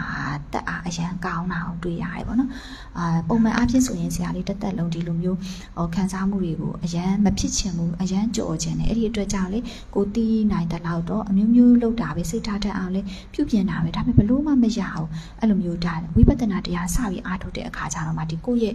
ကိလေသာတွေကိုဟိုဒါအကြောင်းရင်းကနေပယ်တတ်နိုင်တဲ့လမ်းစဉ်ပဲဆိုတာကိုလုံးဝကိုဟိုတကယ့်ကိုယုံကြည်တယ်လို့လက်တွေ့မှာလည်းတကယ်ထိရောက်တာကိုတွေ့ရတော့အရန်ဒီမှာတတအားတွေလည်းအရန်ဖြစ်တာပါနော်အခါကျတော့အခုပြောတဲ့အတိုင်းပဲအခုနာဆရာလေးခံစားထားရတဲ့အာယုံတွေကိုအတီးယူအဟုတ်လုံးမှုအစွဲဘလောက်ပဲကြီးနေတယ်ပြောပြောအာယုံဘက်ကကြည့်မယ်ဆိုရင်တော့ဒီအာယုံစွဲရဖြုတ်ဖို့မလွယ်ဘူးဒါပေမဲ့ ဒီအာယုံကိုခံစားတတ်တဲ့စိတ်အပေါ်မှာဒါငါမဟုတ်တဲ့အာယုံကိုခံစားတတ်တဲ့တဘာဝလက္ခဏာရှိတဲ့သဘောစိုက်တဲ့အမြင်နဲ့ဒါခံစားတတ်တာမှန်ရင်ငါမဟုတ်ဘူးဝေဒနာခန္ဓာပဲဆိုတဲ့အမြင်နဲ့သဘောစိုက်တဲ့အမြင်နဲ့မရှိမှပြတ်မှသိပေးလိုက်တဲ့ခါမှာခံစားထားတဲ့အာရုံတွေလည်းတွဲပြီးချုပ်သွားတယ်စိတ်ထဲမှာတယောက်ကကိုယ်မျက်ဆောင်ထိုးနေပါတယ်မကောင်းတာတွေပြောနေပါတယ်ဆိုတဲ့အာယုံကြီးအနေနဲ့စိတ်ထဲမှာအဖက်တင်ပြီးကိုကြံရစ်မနေတာဒါကိုဟို ဟိုခံစားဖို့ထပ်ပြီးတော့အာဝမ်းနဲ့လိုက်တာအာမကြေနဲ့လိုက်တာဆိုပြီးထပ်ပြီးခံစားမှုမပြောနဲ့ဒီအာယုံကြီးအနေနဲ့တော့စိတ်ထဲမှာအဖက်တင်ပြီးကြံရင်မနေပဲဖြစ်တဲ့စိတ်ရဲ့အပြက်ကိုသိရင်သိနေရတဲ့အာယုံပါတွဲပြီးချုပ်သွားတဲ့အတွက်ကြောင့်ဒီပုံမှာခံစားချက်တွေခံစားချက်တွေဆိုတာလောဘဒေါသတွေဘာမှဖြစ်မလာတော့ဘူးအဲ့တော့ဆရာလေးစပြီးတရားအားထုတ်တဲ့အခါမှာဆိုရင်အခုနပြောတယ်လို့ပေါ့အရင်တုန်းကဆိုရင်ဒါတယောက်ကကိုမျက်ဆောင်လေးထိုးရင်တော့မှဝမ်းနဲ့ပတ်လက်ဖြစ်နေတတ်တာပေါ့တကယ်တမ်းတရားစပြီးအားထုတ်တဲ့အခါမှာ အရန်ကိုထိုးနှက်မှုတွေပြောဆိုမှုတွေအရန်များတယ်ဘလောက်ပဲများများကိုစိတ်ထဲမှာဘလို့မအောင်မနေတာဘလို့မအောင်မနေတာအာဒီဘာကြောင့်လဲဆိုရင်ဒီခံစားတဲ့စိတ်အပေါ်မှာခံစားတတ်တဲ့ငါမဟုတ်တဲ့တဘာခံစားတတ်တဲ့အိုင်ကိုခံစားတတ်တဲ့တဘာဝလက္ခဏာရှိတဲ့သဘောစိုက်တဲ့အမြင်နဲ့ဒါမရှိမှပြတ်မဲ့သိပေးလိုက်တော့ဒီအာယုံကလည်းခံစားထားတဲ့အာယုံကလည်းတွဲပြီးချုပ်နေတော့ဒါကြီးနဲ့ပတ်သက်တဲ့ဒီအာယုံနဲ့ပတ်သက်တဲ့လောဘဒေါသတွေလည်းဆက်ပြီးဖြစ်မလာတော့ဘူးပေါ့နော် အဲ့တော့ဒီခံစားတတ်တဲ့သဘောကိုတာခံစားတတ်တဲ့စိတ်ကိုတာသဘောငါမဟုတ်တဲ့သဘောဆိုင်တဲ့အနေနဲ့ဖြစ်ပြီးပြတ်မဲ့တည်လိုက်ရင်ခံစားထားတဲ့အာယုံဆွဲတွေလေအားလုံးတစ်ခါတည်းတွဲပြီးစွန့်ပြီးသားဖြစ်သွားတာပေါ့နော်နောက်တစ်ခုကမှတ်သားတက်တဲ့သဘောတင်ညက်ခံတာသဘောပေါ့မှတ်သားတက်တဲ့သဘောအနေနဲ့ပြောရင်လေဆရာလေးကမှတ်သားတက်တဲ့ အစွဲလေးကြီးတယ်အရင်ကတည်းကတခုခုဆိုရင်အရန်မှတ်တာမှတ်ပြီးဆိုရင်လေအသေးပဲအသေးပဲဆိုတာကအာဒါဒီလူဟိုဒီတယောက်ကိုဟိုဒီလူတယောက်ဟာဒီလိုလေးလှုပ်လိုက်တယ်ကိုယ့်ပေါ်မှာဒီလိုမျိုးဟိုမကောင်းကြံနေထားပါတော့နော်မကောင်းကြံနေဆိုရင်သူ့ပေါ်မှာတော့အဲ့လိုမျိုးအညှိုးတေးထားတာတော့မဟုတ်ဘူးသူ့ပေါ်မှာမကြည်မနဲ့ဖြစ်တာဒေါသဖြစ်တာလည်းမဟုတ်ဘူးဒါပေမဲ့ဒီလူဟာဒီလိုမကောင်းကြံထားတယ်ဆိုတာကတော့လုံးဝကို ဆွဲနေအောင်မှတ်မိနေတော့တာနောက်တစ်ခုသူပြန်ကောင်းသွားရင်တော့လေကောင်းတာကိုလည်းမှတ်တယ်မကောင်းရင်လည်းမကောင်းတာကိုလည်းမှတ်တယ်ဒါပေမဲ့မှတ်တာမှုအစွဲရတော့အရန်ကြီးတယ်ဘယ်တော့မှမမေ့ဘူးမမေ့တော့ဘူးအကုန်လုံးမှတ်မိနေဥမာအာဖုန်းနံပါတ်တို့ပါလို့ဆိုရင်လေတခါပြောလိုက်တာနဲ့အဲ့ဒါကလုံးဝကိုမှတ်မိနေတော့တာအာတခါလေးကြားလိုက်တာနဲ့ကိုမှတ်မိသွားတာအဲ့လိုမျိုးပေါ့နော်မှတ်တာမှုအစွဲအရန်ကြီးတယ် အရန်လဲမှတ်တယ်မှတ်သားမှုအစွဲလေးအရင်ကြီးရယ်မှတ်သားထားတဲ့အာယုံတွေပေါ်မှာလဲဒါဟာလုံးဝတကယ်ပဲဒီသူဟာကိုယ့်ကိုတကယ်မကောင်းကြံဖူးတယ်ဆိုရင်အဲ့ဒီအာယုံကြီးဟာမှတ်သားတဲ့စိတ်နဲ့အတူအဲ့ဒီအာယုံကြီးဟာအ တွင်းထဲမှာအနုတရားထဲမှာလုံးဝကိုဟိုမြဲနေတယ်လို့ကိုအပီယူထားလိုက်တော့တာပဲအဲ့လိုမျိုးသဘောမျိုးပေါ့ပြောရရင်တော့မှတ်သားတတ်တဲ့အစွဲအရန်ကြီးတယ်ကောင်းတယ်ဆိုရင်လည်းဒီသူဟာကိုယ့်ပေါ်မှာတကယ်ကိုကောင်းတာအရန်ကိုကျေးဇူးတင်ဖို့ကောင်းတာဒါဘယ်တော့မှမမေ့တော့ဘူးအဲ့ဒါကြီးကလည်းဒီလိုကြီးမှတ်သားထားတာကြီးကိုလုံးဝကိုဟိုတရားပါလောက်ကိုစိတ်ထဲမှာဟို ဆွဲပြီးကိုမှတ်ထားတာပေါ့ဒါပေမဲ့အာသူဒီလူဟာမကောင်းတော့ရင်လည်းမကောင်းတာအနေနဲ့ကောင်းရင်လည်းကောင်းတာအနေနဲ့တော့ဟိုဒီအရှိအတိုင်းတော့မှတ်တယ်ဒါပေမဲ့မှတ်တာကတော့မပြောက်တော့ဘူးအဲ့လူကြီးစွဲနေတော့တာခလေးလေးဆရာလေးမှတ်တာမှုအစွဲဘယ်လောက်ကြီးလဲဆိုရင်အသက်ဟိုနှစ်နှစ် လောက်ကနှစ်နှစ်သုံးနှစ်လောက်ကစပြီးတော့တွေ့ကြုံရခဲ့တဲ့ဟာတွေကိုပါအကုန်လုံးကိုမှတ်တာအဲအဲအဲကတုံးဟာတွေပါအကုန်မှတ်မိနေတာပေါ့အဲ့လိုမျိုးသဘောမျိုးပြောချင်တာမှတ်သားမှုအစွဲအရန်ကြီးတယ်ငါအနေနဲ့မှတ်သားမှုအစွဲအရန်ကြီးတယ်လို့မှတ်သားထားတဲ့အာယုံတွေပေါ်မှာလေအတီးယူမှုအရှိဟုတ်ထင်မှုအာအရန်ကြီးတယ်အဲ့ခါကျတော့ ဟိုတနေ့ရဆရာလေးရှင်းပြတာလိုမျိုးပေါ့နော်အာဒီလိုအစွဲအားကြီးတဲ့ခါကျဒီအစွဲအားလေးတော်တော်ကြီးကိုစွန့်ရတယ်စွန့်ရတယ်ဆိုရင်ဆရာလေးမှာလက်နက်ကောင်ရှိတယ်ဘာလက်နက်ကောင်လဲဆိုရင်ခုနပြောတယ်လို့ပဲဒါကြီးကိုဒီမှတ်သားထားတဲ့အာယုံစွဲကြီးတွေကိုအရှိဟုတ်လို့ပြီးပြန်လာစွန့်ကြည့်ဆိုရင်တော့မလွယ်ဘူးပေါ့နော်အရန်ကိုစွန့်ရမှာဒါပေမဲ့ဆရာလေးမှာလက်နက်ကောင်တွေ့ထားရတယ်အဲ့ဒါဘာလဲဆိုရင်ဘယ်လောက်ပဲမှတ်မှတ် ငါအနေနဲ့ဘယ်လောက်ပဲမှတ်မှတ်မှတ်သားတတ်တာငါမဟုတ်ဘူးအာယုံကိုမှတ်သားတတ်တာအာယုံကိုမှတ်သားတတ်တဲ့သဘာဝလက္ခဏာရှိတာဟာတင်ညက်ခန္ဓာသဘောလေးပဲအစာမှတ်သားတာကိုငါလို့ထင်တယ်ငါအနေနဲ့မှတ်တယ်လေတကယ်တော့ငါအနေနဲ့ဘယ်လောက်မှတ်မှတ်မှတ်သားတတ်တာငါမဟုတ်ဘူး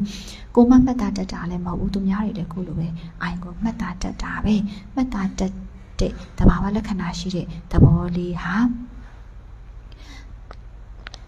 အတိတ်ကပြုလုပ်ခဲ့တဲ့အဝိဇ္ဇာတနာကံအကြောင်းရပြစ္ဆုတ်ကံအားထားတာတွေ့ဆုံတဲ့အကြောင်းရပန့်ပိုးမှုလိုက်ပန့်ပိုးလိုက်လို့ဖြစ်ပေါ်လာရတဲ့အာယုံကိုမှတ်သားတတ်တဲ့သဘာဝလက္ခဏာရှိတဲ့သဘောလေးအနေနဲ့သာလျှင်တကယ်ဖြစ်ပြီးပြတ်နေတာပဲဆိုတဲ့အမြင်လေးနဲ့ကြည့်ပြီးတယ်မှတ်သားတတ်တဲ့သဘောပေါ်မှာငါလို့ယူတဲ့အယူစွန့်ပြီးမရှိမှပြတ်မဲ့သဘောဆိုင်တဲ့အမြင်နဲ့တိပေးလိုက်တဲ့အခါမှာမှတ်သားထားတဲ့အာယုံဆွဲတွေလည်းတခါတည်းတွဲပြီးစွန့်ပြီးသားဖြစ်သွားတယ်အဲ့ဒါကိုဆရာလေးအရင်ဟိုတနေ့ကရှင်းပြတော့က ပြောတာကိုထပ်ပြီးရှင်းပြမယ်ဆိုရင်ဥပမာပြောရင်အဲဆရာလေးဒီမှတ်သားထားတဲ့ဟိုအစွဲမှတ်သားထားတဲ့အာယုံဆွဲကြည့်ရင်ကြည့်သလားအာဒီဉာဏ်ဖြစ်ဖို့ခဲရင်းနေဆိုတာလေးပေါ့နော်အာဥပမာတရားစာပြီးအာထုတဲ့ခါကျတော့တက်18ပါ အာလေးကိုဖတ်လိုက်ရတဲ့အခါကျတော့မြင်နေဆိုတာတကယ်တော့မျက်စိအချင်းနဲ့အစင်းတွေးဆုံလို့မြင်စိတ်ပေါ်တယ်ဘုရားဟောတာရိုးရိုးရှင်းရှင်းလေးပဲကိုကကြတော့အဲ့လိုမမြင်ဘူးအဲ့လိုမမြင်ဘူးစာမှာဘာမှမဟုတ်ဘူးစာမှာမှတ်သားခဲ့တဲ့အတိုင်းဒီမြင်နေဆိုတာကအာဒါဘလို့ဘလို့ဟိုပေါ့နော်အော်ထားပါတော့ဘလို့ဘလို့မြင်ပြီးအာယုံကြောတွေကတက်စစ်ဒီ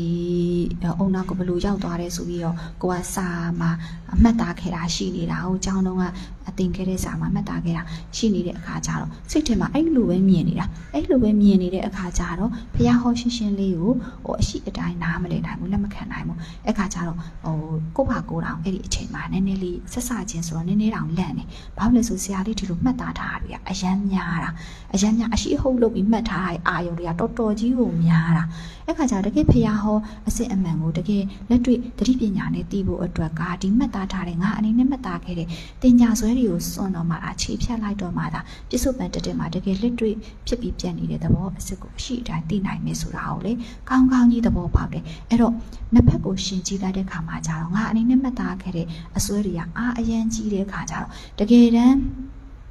ပြစ္ဆုတ်ပန်တက်တဲ့မှာတကယ်လက်တွေ့ အဲတတိပညာနဲ့အရှိအတိုင်းကိုလက်တွေ့သိတဲ့ဉာဏ်ဖြစ်ဖို့အတွက်ကကြတော့မှတ်သားထားတဲ့ငါအင်းနဲ့မှတ်သားထားတဲ့သင်္ချာဆွဲတွေကိုစွန့်နိုင်မှကိုခြေဖြတ်နိုင်မှကိုရမှာဆိုတာကိုကောင်းကောင်းကြီးသဘောပေါက်တဲ့ခါကျတော့ကိုယ့်ဘာကိုယ်တောင်လန့်မိတယ်။ဘာကြောင့်လဲဆိုရင်ကိုကိုယ်တိုင်သိတယ်မှတ်သားထားတဲ့မှတ်သားတတ်တဲ့အစွဲအရန်ကြီးတော့ဒီဒူးလိုက်ဒူးနဲ့ဒေးနဲ့ပေါ့နော်တအားအင်အားကြီးနေတဲ့မှတ်သားမှုအစွဲကိုတော်တော်ကြီးဖြုတ်ရတော့မှာပဲဆိုပြီးကိုယ့်ဘာကိုယ်တောင်ဟိုလန့်မိတယ်ပေါ့ကိုယ့်အစွဲကိုကြောက်တာကိုပြောတာကိုယ့်ဘာကိုယ်တောင်လန့်မိတယ်ဒါပေမဲ့လည်းမတက်နိုင်ဘူးဒါတွေကလည်းပြုပြင်လို့မရတော့အဲ့တော့ပြစ္ဆုတ်မှတ်ပါလေပြစ္ဆုတ်ပံမှာပဲဒါကိုလေဟိုငါရဲ့မှတ်သားမှုငါရဲ့အစွဲလို့ပြန်အတီးမယူပဲနဲ့ပြစ္ဆုတ်ပံမှာပေါ်စေသဘောခန္ဓာဖြစ်စေစိတ်ကိုပဲသဘောဆိုင်တဲ့အမြင်နဲ့မရှိမှပြန်မယ်သိဖို့ပဲအဓိကထားလိုက်မယ်ဆိုပြီးပြစ္ဆုတ်ပံအဓိကထားပြီးတော့မှတ်သားတက်တဲ့ခုနကအာဥပမာပေးရရင်တော့မျက်စိအကြည့်နဲ့အစင်းနဲ့တွေ့ဆုံလို့မြင်စိတ်ပေါ်တယ်ဆိုတာကိုရိုးရိုးလေးဘာကြောင့်နားမလဲတာလဲ ရိုးရိုးလေးဘာလို့လက်မခံနိုင်ရတာလဲဆိုရင်ငါအနေနဲ့မှတ်သားခဲ့တဲ့တင်ညာဆွဲကြီးနေလို့တနည်းအားဖြင့်ပြောရင်ငါအနေနဲ့မှတ်သားခဲ့တဲ့တင်ညာကမှတ်သားခဲ့တယ်အမြင်နေဆိုတာဘလို့ဘလို့ဘလို့ဟိုဘလို့ဘလို့အာယုံကြောတွေကတစ်စက်အုံနောက်ကိုဘလို့ဘလို့သွားတာဆိုပြီးမှတ်သားခဲ့တဲ့အာယုံကိုအတီးယူမှုအရှိအဟုတ်လုံးမှုအားကြီးနေလို့အာဒါဘုရားဟောတဲ့တကယ်ဖြစ်ပြီးပြနေတဲ့ပြစ္ဆုတ်ပန်တက်တဲ့မှာအာတကယ်ဖြစ်ပြပြီးနေတဲ့သဘောလေးကိုအရှိအတိုင်းရိုးရိုးလေးတတိပညာနဲ့မသိနိုင်တာပေါ့ အဲ့တော့ဒါလေးကိုခြေဖြတ်ရမယ်ပေါ့ခြေဖြတ်တယ်ဆိုတဲ့နေရာမှာဘယ်လိုအမြင်နဲ့ခြေဖြတ်ပြီးလဲဆိုရင်တတန်နေရာလုံးတသက်လုံးမှတ်သားခဲ့တာတွေအများကြီးရှိလိမ့်မယ်ဘလောက်ပဲမှတ်သားခဲ့ပါစေမှတ်သားခဲ့တော့ကလည်းအာယုံကိုမှတ်သားတတ်တဲ့ တဘာဝလက္ခဏာရှိတဲ့သဘောလေးအနေနဲ့ဒါလေးတကယ်ဖြစ်ပြီးပြတ်ခဲ့ကြတာကြီးပဲငါကမှတ်ခဲ့တာမဟုတ်ဘူးမှတ်သားခဲ့တာလည်းငါမဟုတ်ဘူးဆိုတဲ့အမြင်နဲ့အရင်ပြောင်းကြည့်လိုက်တယ်အခုပြစ္ဆုတ်ပံမှာလေဘလောက်ပဲမှတ်မှတ်မှတ်သားတတ်တာငါမဟုတ်တယ်လို့ငါမှတ်သားနေတာလည်းမဟုတ်ဘူးအာယုကိုမှတ်သားတတ်တဲ့တဘာဝလက္ခဏာရှိတဲ့သဘောမှန်ရင်ငါမဟုတ်တာသိကြတယ်ဆိုတဲ့အမြင်လေးနဲ့ ဒီတင်ညက်ခန္ဓာအပေါ်မှာအတ္တစိတ်သုံးတဲ့အနတ္တသဘောဆိုင်တဲ့အမြင်နဲ့မရှိမှပြတ်မှတ်သိပြီးလိုက်တဲ့အခါမှာကြတော့မှတ်သားထားတဲ့အာယုတွေပါတခါတည်းတွဲပြီးချုပ်သွားတာကိုတွေ့ရတယ်။ဘလောက်ပဲမှတ်သားထားတဲ့အာယုတွေပေါ်မှာအရှိဟုန်လှုပ်ထားပါစေအတီယူပြီးစုပ်ကင်ထားပါစေမှတ်သားတက်တဲ့သဘောကိုနိုင်ကဖြစ်ပြီးပြရတယ်ဆိုမှတော့မှတ်သားထားတဲ့အာယုတွေပါတွဲပြီးချုပ်သွားတယ်။ဆက်စချင်းမှာကြတော့ကိုယ်ငကိုမှတ်သားခဲ့တဲ့မြင်နေဆိုတာဘယ်လိုဘယ်လိုဟိုဘယ်လိုဘယ်လိုအာယုံကြောတွေကတစ်စက်အုံနောက်ကိုဘယ်လိုရောက်သွားတယ်ဆိုတဲ့အာယုံကြီးကစိတ်ထဲမှာစွဲပြီးတည်နေတာ အခါကျတော့မှတ်သားတက်တဲ့သဘောအနေနဲ့ဒါဖြစ်ပြီးပြတ်တယ်မှန်တည်လိုက်တော့အဲ့ဒီစိတ်ထဲမှာစွဲပြီးတည်နေတဲ့အာယုံကြီးပါတွဲပြီးချုပ်သွားတဲ့ခါကျတော့အဲ့ဒီအာယုံကြီးအနေနဲ့စိတ်ထဲမှာမြင်ရောင်မနေတော့ဘူးမြင်ရောင်မနေတော့ပဲရိုးရိုးလေးပြစ္ဆုတ်ပံမှာမျက်စိချင်းနဲ့အစင်နဲ့တွေ့လို့မြင်စိတ်ပေါ်တယ်ဆိုတာကိုရိုးရိုးလေးပဲပြစ္ဆုတ်ပံတက်တဲ့မှာလက်တွေ့တတိထားလိုက်ရင်တည်ရိုးရိုးလေးပဲတည်နိုင်သွားတယ်ပေါ့နော် အဲ့ခါကျတော့ဒါကြီးဟာအာဒါခဏလေးပဲခဏလေးပဲဆိုတော့အရန်ကြီးအဲ့လိုမျိုးကြီးဟိုဟာဖြစ်ရတာလည်းမဟုတ်ဘူးဒါလောက်တောင်မှဆရာလေးမှတ်သားမှုအစွဲကြီးတာတောင်မှပေါ့နော်အရန်ကိုကြီးတာတောင်မှဒါဒီလိုလေးကြည့်ပြီးလိုက်ရုံနဲ့ဒါတရားကိုစွန့်သွားနိုင်တယ်ပေါ့ဒါဘာကြောင့်လဲဆိုရင်ကိလေသာကိုအဝိဇ္ဇာခေါင်ကနေအကြောင်းရင်းကနေစွန့်နိုင်တဲ့အတွက်ကြောင့်ဒါဒီဉာဏ်ကလည်းတတိပညာကလည်းအရန်ထိရောက်တယ်အရန်အားကြီးတယ်ပေါ့နော် အဲကြတော့ဟိုစစချင်းမှာတော့အာဒါလေးကိုတော်တော်စွန့်ရမယ်လို့ထင်မိမယ်ဒီနာယီပိုင်းလေးအတွင်းမှာပဲဒါလေးကိုလွယ်လွယ်လေးကိုချက်ချင်းစွန့်နိုင်သွားတာအဲ့ဒါဘာလဲဆိုရင်အခုပြောတဲ့အတိုင်းဒီမှတ်တာတဲ့စိတ်အပေါ်မှာအာဒီငါအနေနဲ့ဘယ်လောက်မှတ်မှတ်မှတ်တာခဲ့တာငါမဟုတ်တယ်လို့အခုမှတ်တာနေတာလည်းငါမဟုတ်ဘူးအာရင်ကိုမှတ်တာတက်တာမှန်ရင်ငါမဟုတ်တဲ့တင်းညက်ခန္ဓာအာ သဘောလေးရဲ့တဘာဝလက္ခဏာပဲဆိုတဲ့အမြင်လေးနဲ့ပဲအမှတ်သားတက်တဲ့တဘာဝလက္ခဏာရှိတဲ့သဘောစိုက်တဲ့အမြင်နဲ့ပဲမရှိတော့မှပြတ်မှတ်သိပြလိုက်တဲ့အခါမှာမှတ်သားထထားတဲ့အာယုံတွေလေးတခါလေးညံအောင်ပါတွေးပြီးချုပ်သွားခဲ့တဲ့အခါကျတော့ဒီအာယုန်ကြီးကစိတ်ထဲမှာဆွဲပြီးတင်ကြံရစ်မနေတဲ့အတွက်ကြောင့်ပြစ္ဆုတ်မဲ့တက်တက်မှာပေါ်စေအဲစိတ်ကိုဟိုသဘောဆိုင်တဲ့အမြင်နဲ့အာယုန်နဲ့ထားတာတွေ့ဆုံလို့ပေါ်လာတဲ့ သဘောအနေနဲ့ရိုးရိုးလေးပဲပြစ္ဆုတ်ပန်တက်တက်မှာလက်တွေ့သိနိုင်တယ်ဒီလိုမသိနိုင်ဘူးဆိုတာအတိတ်ကတင်ညာကိုအစွဲပြုပြီးသိနေရတဲ့အာယုန်တွေဝင်ပြီးနောက်ရှက်နေလို့ပေါ့နော်အခါကျတော့ဟိုဒါလေးကဥပမာပေးပြီးပြောတာပါအဲ့တော့ဘလောက်ပဲမှတ်သားမှုအစွဲကြီးနေပါစေအားလုံးကတော့ခန္ဓာ၅ပါးလုံးမှာအစွဲကြီးကြတာပဲအဲ့တော့ခန္ဓာ၅ပါးလုံးမှာအစွဲအဲဆွဲတဲ့အစွဲကိုစွန့်နိုင်ရတယ်ပေါ့နော်အဲ့တော့မှတ်သားတက်တဲ့ သဘောဆိုင်တဲ့အမြင်နဲ့ဖြစ်ဖြစ်ပန်တည်ကြပြင်ငါအနေနဲ့မှတ်သားထားတဲ့အစွဲရောမှတ်သားခဲ့တဲ့အာယုံဆွဲရောစိတ်ဆွဲရောကိုအာငါမဟုတ်တဲ့သဘောဆိုင်တဲ့အမြင်နဲ့မရှိမပြတ်မဲ့တည်ခြင်းအပြင်အာယုံဆွဲရောစိတ်ဆွဲရောအားလုံးကိုတွဲပြီးစွန့်တာစွန့်နိုင်စေတယ်ပေါ့နောက်တစ်ခုကကြတော့ပြုပြင်စေစောတတ်တဲ့သင်္ခါရခန္ဓာသဘောပေါ့နော်ဒီပြုပြင်စေစောတတ်တဲ့သင်္ခါရခန္ဓာသဘောမှာလေစွဲတာပဲစွဲတာပဲဆိုတာဆရာလေးငကူတုံးကပေါ့တရားမထုတ်ခင်တုံးက ဒီဟိုအတ္တမဟုတ်ဘူးအနတ္တဆိုတာကိုကြားဘူးလေအတ္တမဟုတ်ဘူးအနတ္တဆိုတာကိုကြားဘူးပေမဲ့ဘယ်လိုမျိုးနဲ့ကြားဘူးလဲဆိုရင်ဟိုကိုယ့်အလိုကိုယ်အကြိုက်မလိုက်ဘူးပေါ့ကိုဖြစ်ချင်တိုင်းဖြစ်လို့မရတာအနတ္တပေါ့အဲ့ဒီဟာကိုစိတ်ထဲမှာဘဝင်မကြောက်ဘာကြောင့်လဲဆိုရင်ကိုဖြစ်ချင်တိုင်းဖြစ်နေတာတွေလည်းရှိနေတယ်လေ ကြည့်ချင်တယ်ဆိုကြည့်လို့ရတယ်စားချင်တယ်ဆိုစားလို့ရတယ်။အော်စားလို့မရတော့မှအနတ္တလား။အဲ့ဒါဆိုရင်တော့တရားဆိုတာကတခါတလေမှကွက်ပြီးမှန်နေဆိုတာမဖြစ်နိုင်ဘူးပေါ့။ဘုရားဟောတဲ့တရားအမြဲတမ်းမှန်နေရမှာပေါ့နော်။အော် တခါတလေဟိုအိရတဲ့လဲတော့မှအနတ္တကြီးဖြစ်မှာလား။အဲ့လိုမဖြစ်နိုင်ဘူးပေါ့နော်။ဟိုကိုဖြစ်ချင်တိုင်းဖြစ်လို့ဟိုမရတော့မှအနတ္တလား။အဲ့လိုကြီးလည်းမဖြစ်နိုင်ဘူး။ဘာကြောင့်လဲဆိုဘုရားဟောတဲ့တရားဟာအချိန်တိုင်းမှာမှန်နေရမှာ။အတ္တမဟုတ်တဲ့အနတ္တဆိုတာအချိန်တိုင်းမှာမှန်နေရမှာ။ဒါပေမဲ့ကိုကအနတ္တဆိုတာဘာမှန်းကောင်းကောင်းမသိဘူး ကြားဘူးဒါကတော့ကိုယ့်လိုကိုယ်အကြိုက်မလိုက်တာအနတ္တပေါ့ကိုဖြစ်ချင်တိုင်းမဖြစ်တာအနတ္တပေါ့အဲ့တော့ဖြစ်ချင်တိုင်းဖြစ်လို့ရနေရရှိတယ်လှုပ်ချင်တိုင်းလှုပ်လို့ရနေရရှိတယ်အဲ့တော့အနတ္တဆိုတာတစ်ခါတလေမှကွက်ပြီးမှန်တာလားဆိုဒါကတော့မဟုတ်နိုင်ဘူးပေါ့မဟုတ်နိုင်ဆိုတာအာဒီအတိတ်ပဲဖွင့်ဆိုမှုကတော့လိုအပ်မှုရှိနေပြီဆိုတာကိုကိုပါကိုလည်းသိတယ်အဲ့တော့အာဒီလိုကြည့်ချင်တိုင်းကြည့်လို့ရတယ်တွေးချင်တယ်ဆိုလည်းတွေးလို့ရတယ်စားချင်လည်းစားလို့ရတယ်ထိုင်ချင်ထိုင်လို့ရတယ်ထားချင်ထိုင်လို့ရတယ်ဒါဆိုရင်အတ္တလားပေါ့အဲ့လိုမျိုးဖြစ်မိတယ်အခါကျတော့ အဲ့ဒီအနတ္တအပေါ်မှာစိတ်ထဲမှာဘဝင်မကြခဲ့ဘူးပေါ့နော်တရားစပြီးအားထုတ်တဲ့အခါကြတော့မှဒီဖောက်ပြန်ခံစားမှတ်တာဖြစ်ဖြစ်တိတက်တဲ့သဘောခန္ဓာအကြောင်းကိုစပြီးသိခွင့်ရတဲ့အခါကြတော့မှအနတ္တကိုလုံးဝကိုကြည်ကြည်နက်နက်စိတ်ကိုဒုံဒုံချပြီးတကယ့်ကိုအတ္တဆိုတာလုံးဝမရှိပဲအနတ္တတသက်ပါပဲဆိုတာကိုကြည်ကြည်နက်နက်ကိုစိတ်ကိုဒုံဒုံချပြီးတော့ အာဒီဒါအမှန်တရားပဲဆိုတာကိုဟိုတကယ်လက်ခံနိုင်သွားတာပေါ့နော်တကယ်လက်တွေ့နဲ့အကျင့်နဲ့သိတဲ့အပိုင်းကတသက်ဒီလိုမျိုးအတိနဲ့နားလေလက်ခံတာတသက်နော်အတိနဲ့နားလေလက်ခံပြီးတော့မှဒါအကျင့်နဲ့လက်တွေ့သိပြီးစွန့်ရတာပေါ့ဒီနေရာလေးမှာလက်ခံနေဆိုတဲ့အတုံးအနှုံးလေးကိုရှင်းပြပေးမယ်နော်ဆရာလေးကိုယ်တိုင်လေးစပြီးတရားထုတ်တော့ကလက်ခံနေဆိုတဲ့အတုံးအနှုံးလေးတုံးနေစွန့်နေဆိုတဲ့အတုံးအနှုံးလေးတုံးနေ ဒီနှစ်ခုပါကွာလဲဆိုအခုဆရာလေးပြောတဲ့အတိုင်းပြန်ပြောပြမယ်ဆိုရင်တကယ်နဲ့အတ္တဆိုတာလုံးဝမရှိဘူးတကယ်ဖောက်ပြန်ခံစားမှတ်တာပြန်တိတက်တဲ့သဘောအနေနဲ့ဒါလေတကယ်ဖြစ်ပြီးပြတ်နေတာပဲတကယ်ရှိတယ်ဒီသဘောခန္ဓာတွေဟာလုံးဝအတ္တမဟုတ်တဲ့အနတ္တတသက်ပါပဲဆိုတာကိုအတ္တလုံးဝမရှိတဲ့အနတ္တသဘာဝပဲတကယ်ဖြစ်ပြီးပြတ်နေတယ်ဆိုတာကိုစိတ်ထဲမှာလုံးဝလက်ခံနိုင်သွားတာလက်ခံနိုင်သွားတယ်ဆိုတဲ့အတုံးလုံးကတိသွားတာကိုပြောတာတိတယ်ဆိုတာ တင်ညာနဲ့တည်တာကိုပြောတာနော်ပညာနဲ့မဟုတ်ဘူးသူကအကျင့်နဲ့မဟုတ်ဘူးလို့ပြောချင်တာတင်ညာနဲ့ဆိုတာအာဒါပြောရမယ်ဆိုရင်စိတ်ဓာမယဉာဏ်နဲ့တွေးပြီးတည်တာနားလည်မှုနဲ့တည်တာလက်တွေ့တတိနဲ့ရှင်တဲ့ဘာဝနာအတိမဟုတ်ဘူးပညာအတိမဟုတ်ဘူးနော်အဲ့တော့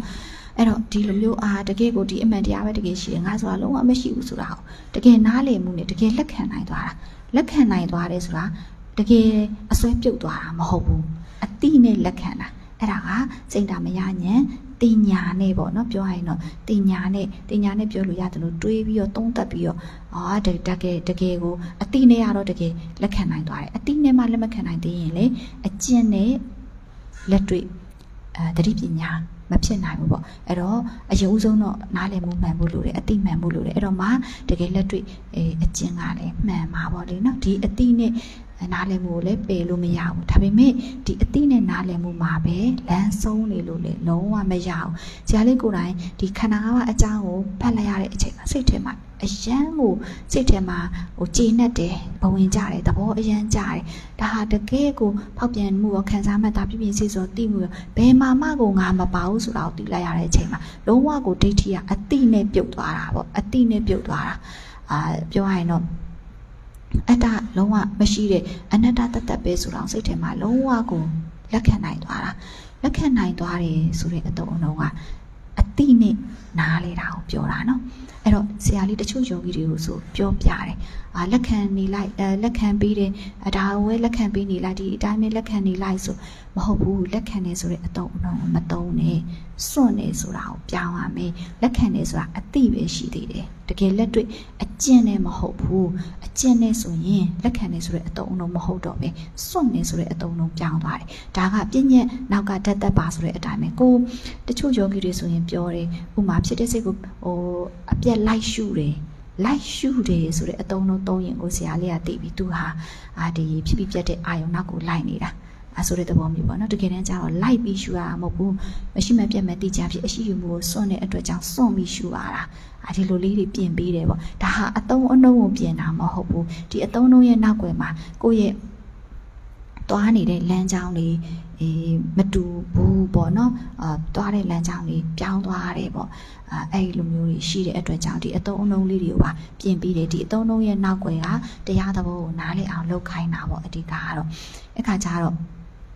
ဒီနေရာမှာလေအခုဆရာလေးပြောတဲ့အတိုင်းဒီခန္ဓာပေါက်တဲ့အခါမှာဖောက်ပြန်မှုရောခံစားမှုရောမှတ်သားမှုရောသိမှုရောငါမဟုတ်ပါဘူးဆိုမှတော့ဒီအပြင်ငါလုပ်เสียဘာမှကိုမရှိတော့ပါလားဆိုတော့စိတ်ထဲမှာတော်တော်ကြီးကိုဟိုတတန်တရားလုံးပိတ်ဆို့နေတဲ့ပိတ်ဆို့မှုကြီးပွင့်ထွက်သွားတယ်လို့တော်တော်ကြီးကိုသဘောကျတာအာသဘောကျတယ်ဆိုတာအရန်ကိုဟိုစိတ်ထဲမှာရှင်းသွားတာပေါ့ဒိဋ္ဌိကိုအတိနဲ့ပြုတ်သွားတာပေါ့နော်အာတကယ်ကိုဟိုအတ္တဆိုတာလုံးဝမရှိတဲ့အနတ္တတတ်တတ်ပဲအချိန်တိုင်းမှာမှန်နေပါတယ်ဆိုတော့ ယာနှုံးပြည့်ကိုစိတ်ထဲမှာလက်ခံနိုင်သွားတာ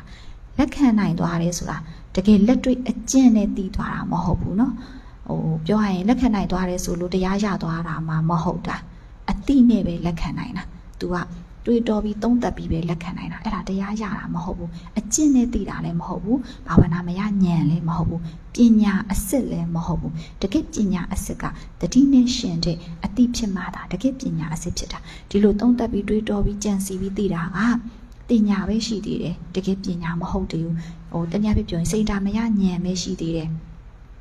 သုံးသက်ပြီးသိတဲ့အတိပဲရှိသေးတယ်လက်တွေ့တတိနဲ့ရှင်တဲ့အတိမဟုတ်သေးဘူးဆရာလေးဆိုရင်လည်းအခုပေါ့နော်အခုပြောတဲ့ဒီ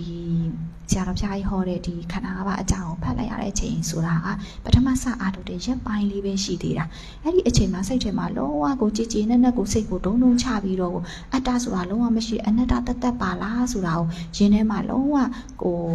လက်ခံနိုင်သွားတာဒါပေမဲ့တကယ်လက်တွေ့မှာပေါ်စေစိတ်ကိုဖောက်ပြန်ခံစားမှတ်တာပြင်တည်တက်တဲ့သဘောစိုက်တဲ့အမြင်နဲ့မရှိမှပြတ်မှန်သိရတဲ့အပိုင်းမှာအများကြီးအများကြီးအများကြီးကိုတကယ်လက်တွေ့အကျင့်နဲ့သိပြီးစွန့်ရတာကအများကြီးရှိနေသေးတယ်အဲ့လိုလေးနားလည်ပြီးလက်ခံနိုင်ရုံနဲ့တော့ အဆုံးမတက်ရဘူးလို့ပြောချင်တာအဲ့ဒါလောက်ကိုပဲအဓိကလည်းမထားရဘူးဒါပေမဲ့ဒါကလည်းအရန်ကောင်းတယ်ဒီလိုမျိုးနာအရင်ဦးဆုံးနားလေလက်ခံမှုမှန်နေဆိုရင်ဒီနားလေလက်ခံထားတဲ့အတိုင်းတကယ်လက်တွေ့အကျင့်နဲ့သွားတဲ့နေရာမှာအာဒါတစ်ထက်တည်းကြဖို့အတွက်ပို့ပြီးလွယ်ကူစေတယ်ပေါ့နော်အဲဒါကြောင့်ဘုရားရှင်က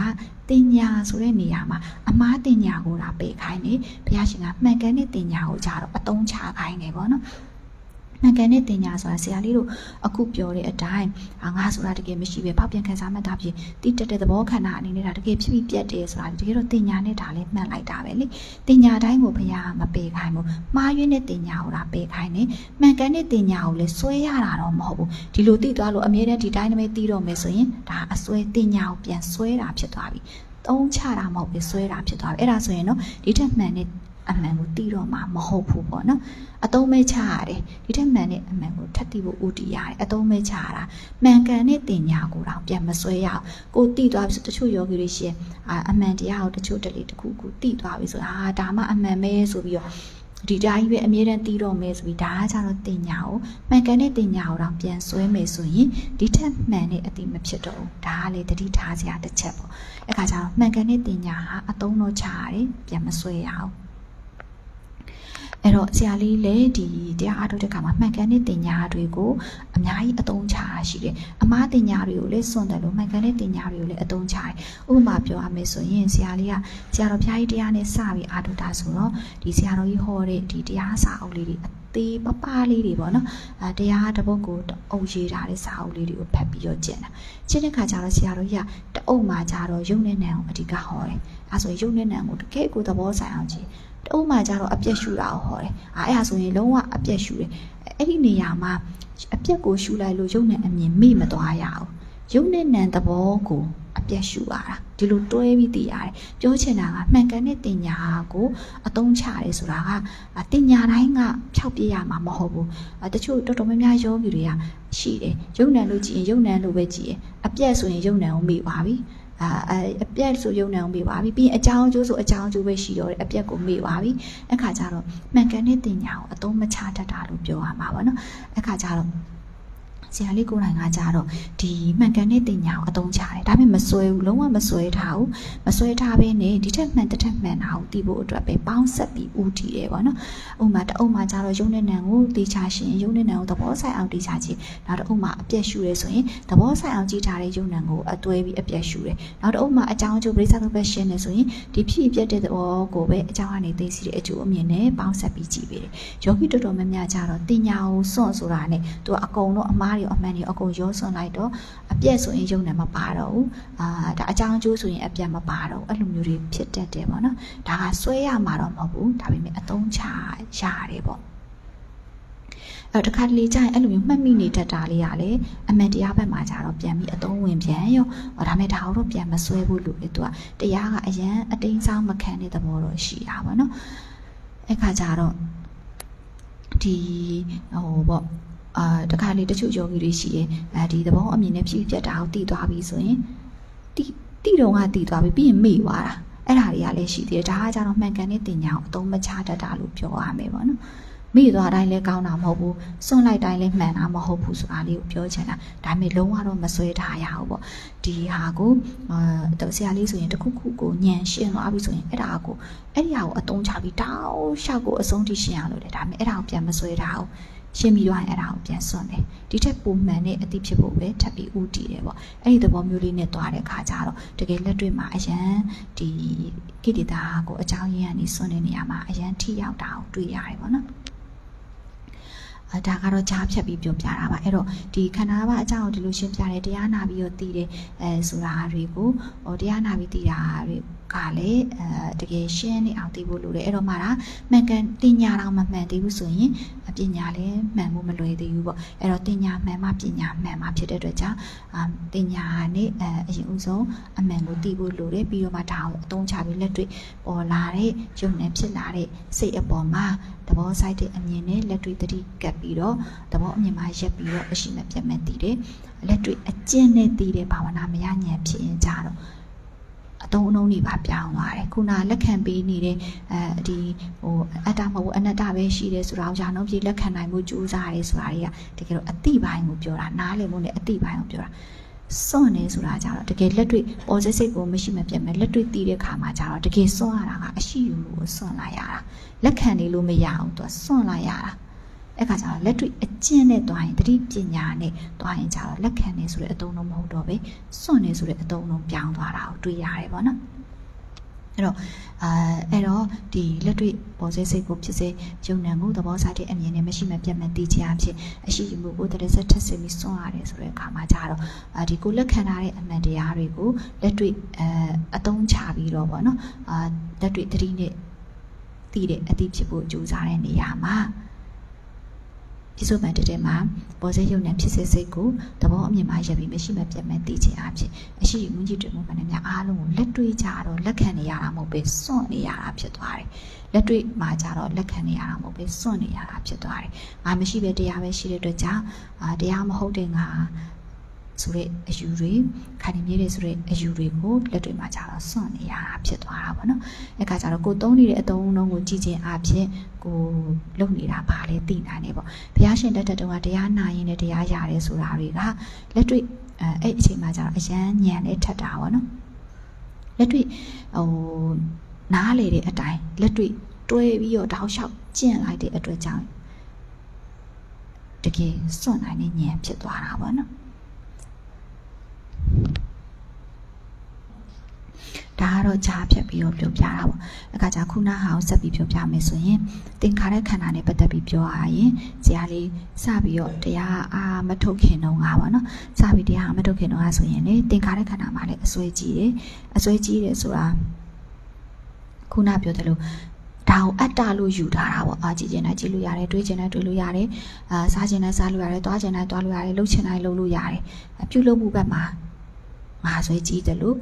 ပြုပြင်စီစော်ထားတဲ့အာရုံတွေပေါ်မှာလည်းအတည်ယူမှုအဟုတ်လို့မှုအားကြီးတာပေါ့နော်အဲ့ခါကျတော့ဒီတရားစပြီးတော့အားထုတ်တဲ့ခါကျတော့မှပြုပြင်စီစော်တက်တာငါမဟုတ်ဘူးဆိုတာကိုသိလိုက်ရတဲ့အချိန်မှာအာဒါတကယ့်ကိုအတ္တဆိုတာလုံးဝမရှိတဲ့အနတ္တတသက်ပါလားဆိုတာဒီအမြင်မှာပို့ပြီးတော့ပြီးပြင်စေတယ် ကြည်လိုက်လို့မြင်တယ်နားထောင်လိုက်လို့ကြားတယ်ဆိုတာငါကြည်လိုက်လို့ငါမြင်တာမဟုတ်ဘူးငါနားထောင်လိုက်လို့ငါကြားတာမဟုတ်ဘူးငါတွေးလိုက်လို့ငါတွေးတာမဟုတ်ဘူးဒီလိုပြုပြုပြုလို့အားထုတ်နေတဲ့စိတ်တွေကိုနိုင်ကငါအနေနဲ့ပြုလို့အားထုတ်နေတဲ့စိတ်တွေကိုနိုင်ကငါမဟုတ်တဲ့ပြုပြင်စေစောတက်တဲ့သင်္ခါရခန္ဓာရဲ့သဘာဝလက္ခဏာလေးပဲဆိုတာသဘောပေါက်လိုက်တဲ့အခါမှာ ပြုပြင်စီစောတက်တဲ့သဘောမှန်ရင်ငါမဟုတ်တာသိကြတယ်ဆိုတဲ့အမြင်မျိုးနဲ့မရှိမှပြတ်မှန်းသိလိုက်တဲ့အချိန်မှာပြုပြင်စီစောထားတဲ့အာရုံတွေလည်းချုပ်သွားတယ်လို့ငါအနေနဲ့ပြုလို့အားထုတ်မှုတွေကိုလည်းစွန့်နိုင်သွားတယ်တကယ်တမ်းဒီနေရာမှာထပ်ပြီးချက်ပြောမယ်ဆိုရင်လောဘဒေါသမောဟတွေကိုနိုင်ကပြုပြင်စီစောတက်တဲ့သင်္ခါရခန္ဓာရဲ့လှုပ်ဆောင်ချက်တွေပဲမရှိတဲ့ငါကိုရှိတယ်လို့ထင်နေတဲ့အဝိဇ္ဇာနဲ့ညှိတွယ်နေတဲ့တဏှာကိုနိုင်က ငါအဝိဇ္ဇာငါတဏှာမဟုတ်ဘူးအဝိဇ္ဇာနဲ့တဏှာကိုယ်တိုင်ကပြုပြင်စေစုံတတ်တဲ့သင်္ခါရခန္ဓာသဘောလေးရဲ့လှုပ်ဆောင်ချက်လေးပဲဆိုတာကိုသိလိုက်တဲ့အချိန်မှာအတ္တလုံးဝမရှိဘူးဆိုတာဒီနေရာမှာနေပွဲသိမ်းသွားပြီအတ္တလို့ယူနေတဲ့စိတ်ကိုယ်တိုင်ကအနတ္တပါဆိုမှတော့ဒီနေရာမှာနေပွဲသိမ်းသွားပြီလုံးဝအတ္တမရှိဘူးဆိုတာလုံးဝကိုသိချသွားပြီပေါ့အဲ့ဒီအမြင်လေးနဲ့သိလိုက်ရတဲ့အချိန်မှာငါအဝိဇ္ဇာငါတဏှာတော့မဟုတ်ပဲအဝိဇ္ဇာနဲ့တဏှာကိုယ်တိုင်ကငါမဟုတ်တဲ့သင်္ခါရခန္ဓာအာ ဥဆောင်တဲ့သဘောခန္ဓာအနေနဲ့တာဖြစ်ဖြစ်ပြနေရဆိုစိတ်ကလုံးဝကိုလွတ်လပ်သွားတာလွတ်ချနိုင်သွားတာပေါ့နော်တမှုရအပေါ်မှာပါငါလုံးမှုဆိုပြီးသဘောဆိုင်တဲ့အမြင်နဲ့မရှိမှပြတ်မှသိနိုင်သွားတာပေါ့အဲနောက်တစ်ခုကကြတော့တတိပညာ ဒီအမှန်တရားအရှိတိုင်းသိနေတဲ့တတိပညာကိုနိုင်ကလည်းငါတတိငါအတိမဟုတ်ပြန်ဘူးသူကိုနိုင်ကလည်းပြပြစေစောတက်တဲ့သင်္ခါရခန္ဓာသဘောလေးရဲ့လှုပ်ဆောင်ချက်လေးပဲနောက်ဆုံးဘယ်လောက်ထိလဲဆိုမညံဖုန်ညံကိုနိုင်ကသင်္ခါရခန္ဓာထဲမှာအကျုံးဝင်နေတာဆိုတော့ဒါကလည်းလမ်းဆုံးသွားပြီဘလောက်ပဲတည်တည်ငါအတိဘလောက်ပဲ ဟိုတတိထတာငါတတိလို့ယူစရာကိုလုံးဝမရှိအောင်ကိုအာဒါတတိပညာကိုနိုင်ကပြပြစေစောတက်တဲ့ငါမဟုတ်တဲ့သင်္ခါရခန္ဓာထဲမှာအကျုံးဝင်နေသင်္ခါရခန္ဓာသဘောလေးရဲ့လှုပ်ဆောင်ချက်ဆိုတော့မညက်ဖူးညံနာမှာသင်္ခါရခန္ဓာထဲမှာအကျုံးဝင်နေဆိုတော့ဒါကလမ်းဆုံးနေပြီငါတတိငါအတိလို့ယူစရာဘာမှကိုမရှိဘူးသင်္ခါရခန္ဓာဥစ္စာနဲ့သဘောခန္ဓာအနေနဲ့ဒါဖြစ်ပြီးပြက်နေတယ်ဆိုတာကိုစိတ်တုံးတုံးချပြီးနားလည်နိုင်သွားပြီပေါ့ဒါပေမဲ့ဒီနေရာမှာတခုတတိထားမှာကတချို့ယောဂီတွေကပြောတယ် ကိလေသာလည်းငါကိလေသာမဟုတ်တယ်လို့တတိပညာလည်းငါတတိပညာမဟုတ်တော့ငါဘာမှလုပ်စရာမလိုဘူးဘာမှမလုပ်ဖို့ပဲလိုတယ်အဲ့လိုမျိုးတွေအယူလွဲသွားတတ်တယ်အဲ့ဒါဆိုရင်ကြတော့တတိပညာလည်းငါတတိပညာမဟုတ်တယ်လို့ကိလေသာလည်းငါကိလေသာမဟုတ်ဘူးဆိုပေမဲ့ကိလေသာကပရိစ္ဆာသမုပ္ပါကိုလဲစေတယ်လို့တတိပညာကကြတော့ပရိစ္ဆာသမုပ္ပါကိုပြည့်စေတယ်ဒီအမြင်အားလုံးဝ အရေးကြီးသွားပြီဒီနေရာမှာတချို့တွေကဒီနေရာမှာအဲ့ဒီအချက်ကိုမသိကြတဲ့အတွက်ကြောင့်လမ်းမကိုရောက်ကုန်ကြတာလမ်းလွဲကိုရောက်ကုန်ကြတာပေါ့နော်အာကိလေသာလည်းငါကိလေသာမဟုတ်တယ်လို့တတိပညာလည်းငါတတိပညာမဟုတ်ဘူးဆိုတော့အာငါကဘာမှလုပ်စရာမလိုဘူးဟောငါအနေနဲ့ဘာမှမလုပ်ဖို့ပဲလိုတယ်ဆိုပြီးတော့အာဒီလိုမျိုးဟိုပြုလုပ်မှုတွေကိုစွန့်လိုက်တာပြုလုပ်မှုတွေကိုရက်လိုက်တာပေါ့လေ အခါကျတော့အဲ့လိုမျိုးရက်လိုက်ပြီဆိုရင်တော့မောဟပဲဖြစ်နေမှာတေးကြတယ်သူကဝိပဿနာဉာဏ်ရဲ့သဘောတရားမှာကအဲ့လိုမျိုးပြုလုပ်မှုကိုစွန့်လိုက်လို့မဉဏ်ချက်ချင်းပေါ်သွားတာမှမဟုတ်တာမဉဏ်ချက်ချင်းပေါ်သွားရင်လေပယ်ပြီးသားကိလေသာတွေကလုံးဝကိုဖြစ်မလာရတော့ဘူးဖြစ်လာနေသေးရင်ကိုမဉဏ်မပေါ်သေးလို့အဲ့ဒါတေးကြတယ်အဲ့တော့အဲ့တော့ပြောချင်တာကအာဒါဝိပဿနာဉာဏ်မှာကြတော့အာဒါပြုလုပ်မှုကိုလုံးဝမပြုလုပ်ပဲအပြီးတိုင်းရပ်လိုက်လို့လုံးဝမရအောင် အာဘာကြောင့်လဲဆိုရင်အဲဒါမပြုလုပ်တော့ရင်မောဟဖြစ်နေမှာဘာလို့လဲဆိုကိလေသာမှတကယ်အမြင့်ပြအောင်မစွန့်နိုင်သေးတာဒါပေမဲ့ငါအနေနဲ့အတ္တရင်နဲ့ပြုလုပ်နေရမှာလေမဟုတ်ပြန်ဘူးပေါ့လေနော်အဲကြတော့ဒီနေရာမှာတကယ်လမ်းလွဲမရောက်အောင်လမ်းမှားမရအောင်တကယ်ထိန်းပေးနိုင်တဲ့အချက်က ပရိသသမုပ္ပတ်ပဲအဲ့ဒါကိုပယ်လို့မရအောင်ပရိသသမုပ္ပတ်အမြင်ကဒီနေရာမှာလမ်းလွဲမရအောင်လမ်းမှားမရအောင်အဓိကထိန်းညှိပေးနိုင်တယ်အဲ့ဒါဘာလဲဆိုကိလေသာလည်းငါကိလေသာမဟုတ်တယ်လို့တတိပညာလည်းငါတတိပညာမဟုတ်ဘူးဆိုပေမဲ့ကိလေသာပရိစ္ဆေဘက်ကိုလဲစေပြီးတတိပညာပရိစ္ဆေဘက်ကိုပြတ်စေတယ်အဲ့တော့ငါလို့ယူတဲ့အယူကိုလဲစွန့်ရမယ်အဲအမှန်တရားကိုလည်းအရှိအတိုင်းသိရမယ်ဆိုတဲ့နေရာမှာပရိစ္ဆေဘက်ရှူတာကအဓိကထိန်းညှိပေးသွားမယ်ပေါ့ဒီနေရာမှာ အဲ့တော့ဒီကိလေသာလည်းငါကိလေသာမဟုတ်တယ်လို့တတိပညာလည်းငါတတိပညာမဟုတ်ပေမဲ့ကိလေသာပရိစ္ဆေဘက်ကိုလည်းစေပြီးတတိပညာပရိစ္ဆေဘက်ကိုပြည့်စေတဲ့အတွက်ကြောင့်ကိလေသာတွေကိုပယ်စွန့်နိုင်တဲ့တတိပညာကတော့ဖြစ်အောင်လုပ်ကိုလုပ်ရမယ်ဒါပေမဲ့ငါအနေနဲ့လုပ်တာတော့မဟုတ်ရအောင်ငါမပါပဲအားစိတ်အောင်တက်တက်လေးအားဆိုင်ပြီးတော့မရှိမပြတ်မသိအောင်တက်တက်လေးသိပေးခြင်းအဖြစ်အရှိယူမှုတွေကိုစွန့်နိုင်ရမယ်ပရိစ္ဆေဘက်ကိုအသိမွေ့ဆုံးအထိအကြောင်းရင်းကနေအမြင့်ပြတ်တဲ့ဉာဏ်ဖြစ်နိုင်တဲ့အထိ ဥတည်နိုင်ရမယ်တကယ်တတရားသဘောလေးอ่ะရိုးရိုးရှင်းရှင်းလေးပဲဒါကိုဟိုကငါအနေနဲ့အဲလှုပ်ယူခြင်းနေတဲ့အတွက်ကြောင့်ဒါအဲ့လိုမျိုးလမ်းလွဲတွေရောက်နေကြတာပါအဲ့တော့အာဆရာလေးကိုယ်တိုင်လည်းဒီပြည့်ပြည့်စုံစုံတက်တဲ့သဘောလေးမှာကိလေသာရောတတိပညာရောငါကိလေသာမဟုတ်တယ်လို့ငါတတိပညာမဟုတ်ဘူးဆိုတဲ့အချက်ကိုသိသွားတဲ့နေရာမှာအဲ့ဒါဆိုရင်ဘာကြောင့်တရားအားထုတ်ရမှာလဲဆိုတာကိုလေသဘောပေါက်သွားတာ။အော်အဲ့ဒါဆိုရင်တော့ဟိုဒါ အာပရိသတ်ဘက်ကိုပြတ်ဖို့ကအဓိကပဲဆိုတာကိုအဲ့ဒီအချိန်မှာပို့ပြီးသဘောပေါက်သွားတာပေါ့ကိလေသာပရိသတ်ဘက်လဲစီပြီးတတိပညာပရိသတ်ဘက်ကိုပြတ်စေတဲ့အတွက်ကြောင့်ကိလေသာတွေကိုအသိမွေ့ဆုံးအထိအကြောင်းရင်းနေပဲတတ်နိုင်တဲ့တတိပညာဖြစ်ဖို့ကြိုးစားတာဟာဒါပရိသတ်ဘက်ကိုဖြတ်နေတာပဲမညံ့ဖူညံ့နေတာဖြတ်နိုင်သွားရင်တော့သူစင်တဲ့သူအမြင့်ပြတ်အောင်ကိလေသာတွေကိုပဲတတ်နိုင်သွားမှာပေါ့နော်ပရိသတ်သမုပ္ပတ်ကိုသူအစင်တဲ့သူအမြင့်ပြတ်အောင်ဖြတ်နိုင်သွားမှာပေါ့နော်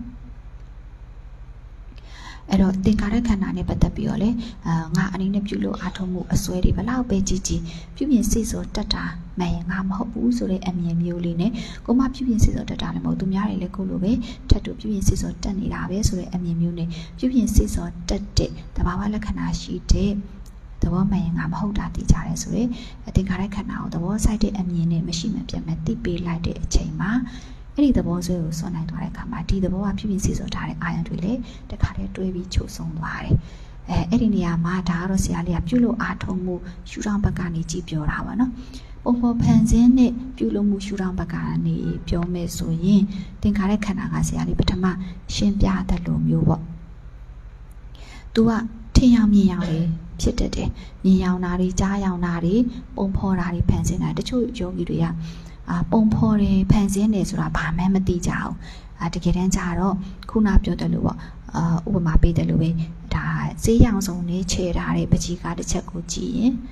ဈေးရောင်ကိုဘာလို့ဈေးရောင်လို့မမြင်မဲနဲ့ရေတကုံလို့မြင်နေတာလေ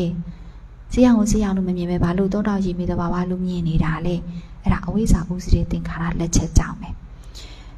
ဈေးရောင်ကိုဈေးရောင်အမြင်မှာမရက်နိုင်မနဲ့မှတ်သားခဲ့တဲ့တင်ညာကိုအစွဲပြုပြီးတော့ရေတကွန်အနေနဲ့တောတောင်အနေနဲ့အဲတာယာတာအနေနဲ့အေးချမ်းတာအနေနဲ့ပုံဖော်ဖန်ဆင်းမိတည်နေတာသင်္ခါရခန္ဓာရဲ့လက်ချက်ပဲအဝိဇ္ဇာဥစ္စည်းသင်္ခါရခန္ဓာရဲ့လက်ချက်ပဲဥပမာထားပါတော့အိမ်မက်မက်တယ်ထားပါတော့နော်အိမ်မက်မက်တယ်ဆိုတဲ့သဘောတရားကလေအိမ်နေတဲ့အချိန်မှာကိုတကယ်ကြီးအိမ်နေတဲ့အချိန်မှာလူတယောက်နဲ့တွေ့ပေါ့အဲ့ဒီအိမ်နေတဲ့အချိန်မှာအဲ့ဒီလူနဲ့တကယ်တွေ့တာမဟုတ်ပဲတကယ်တော့ ပုံဖော်မြင်အောင်ပြီးတော့ပုံဖော်ဖန်ဆင်းပြီးထင်အောင်မြင်အောင်လေးနဲ့ထင်အောင်မြင်အောင်ဖြစ်နေတာပေါ့လေနော်ဟိုထင်အောင်မြင်အောင်ပုံဖော်ဖန်ဆင်းပြီးသိနေတဲ့စိတ်တွေဖြစ်နေတာအဲ့ဒါကလည်းအဝိဇ္ဇာဥစ္စည်းသင်္ခါရလက်ချက်ကြောင့်ပဲ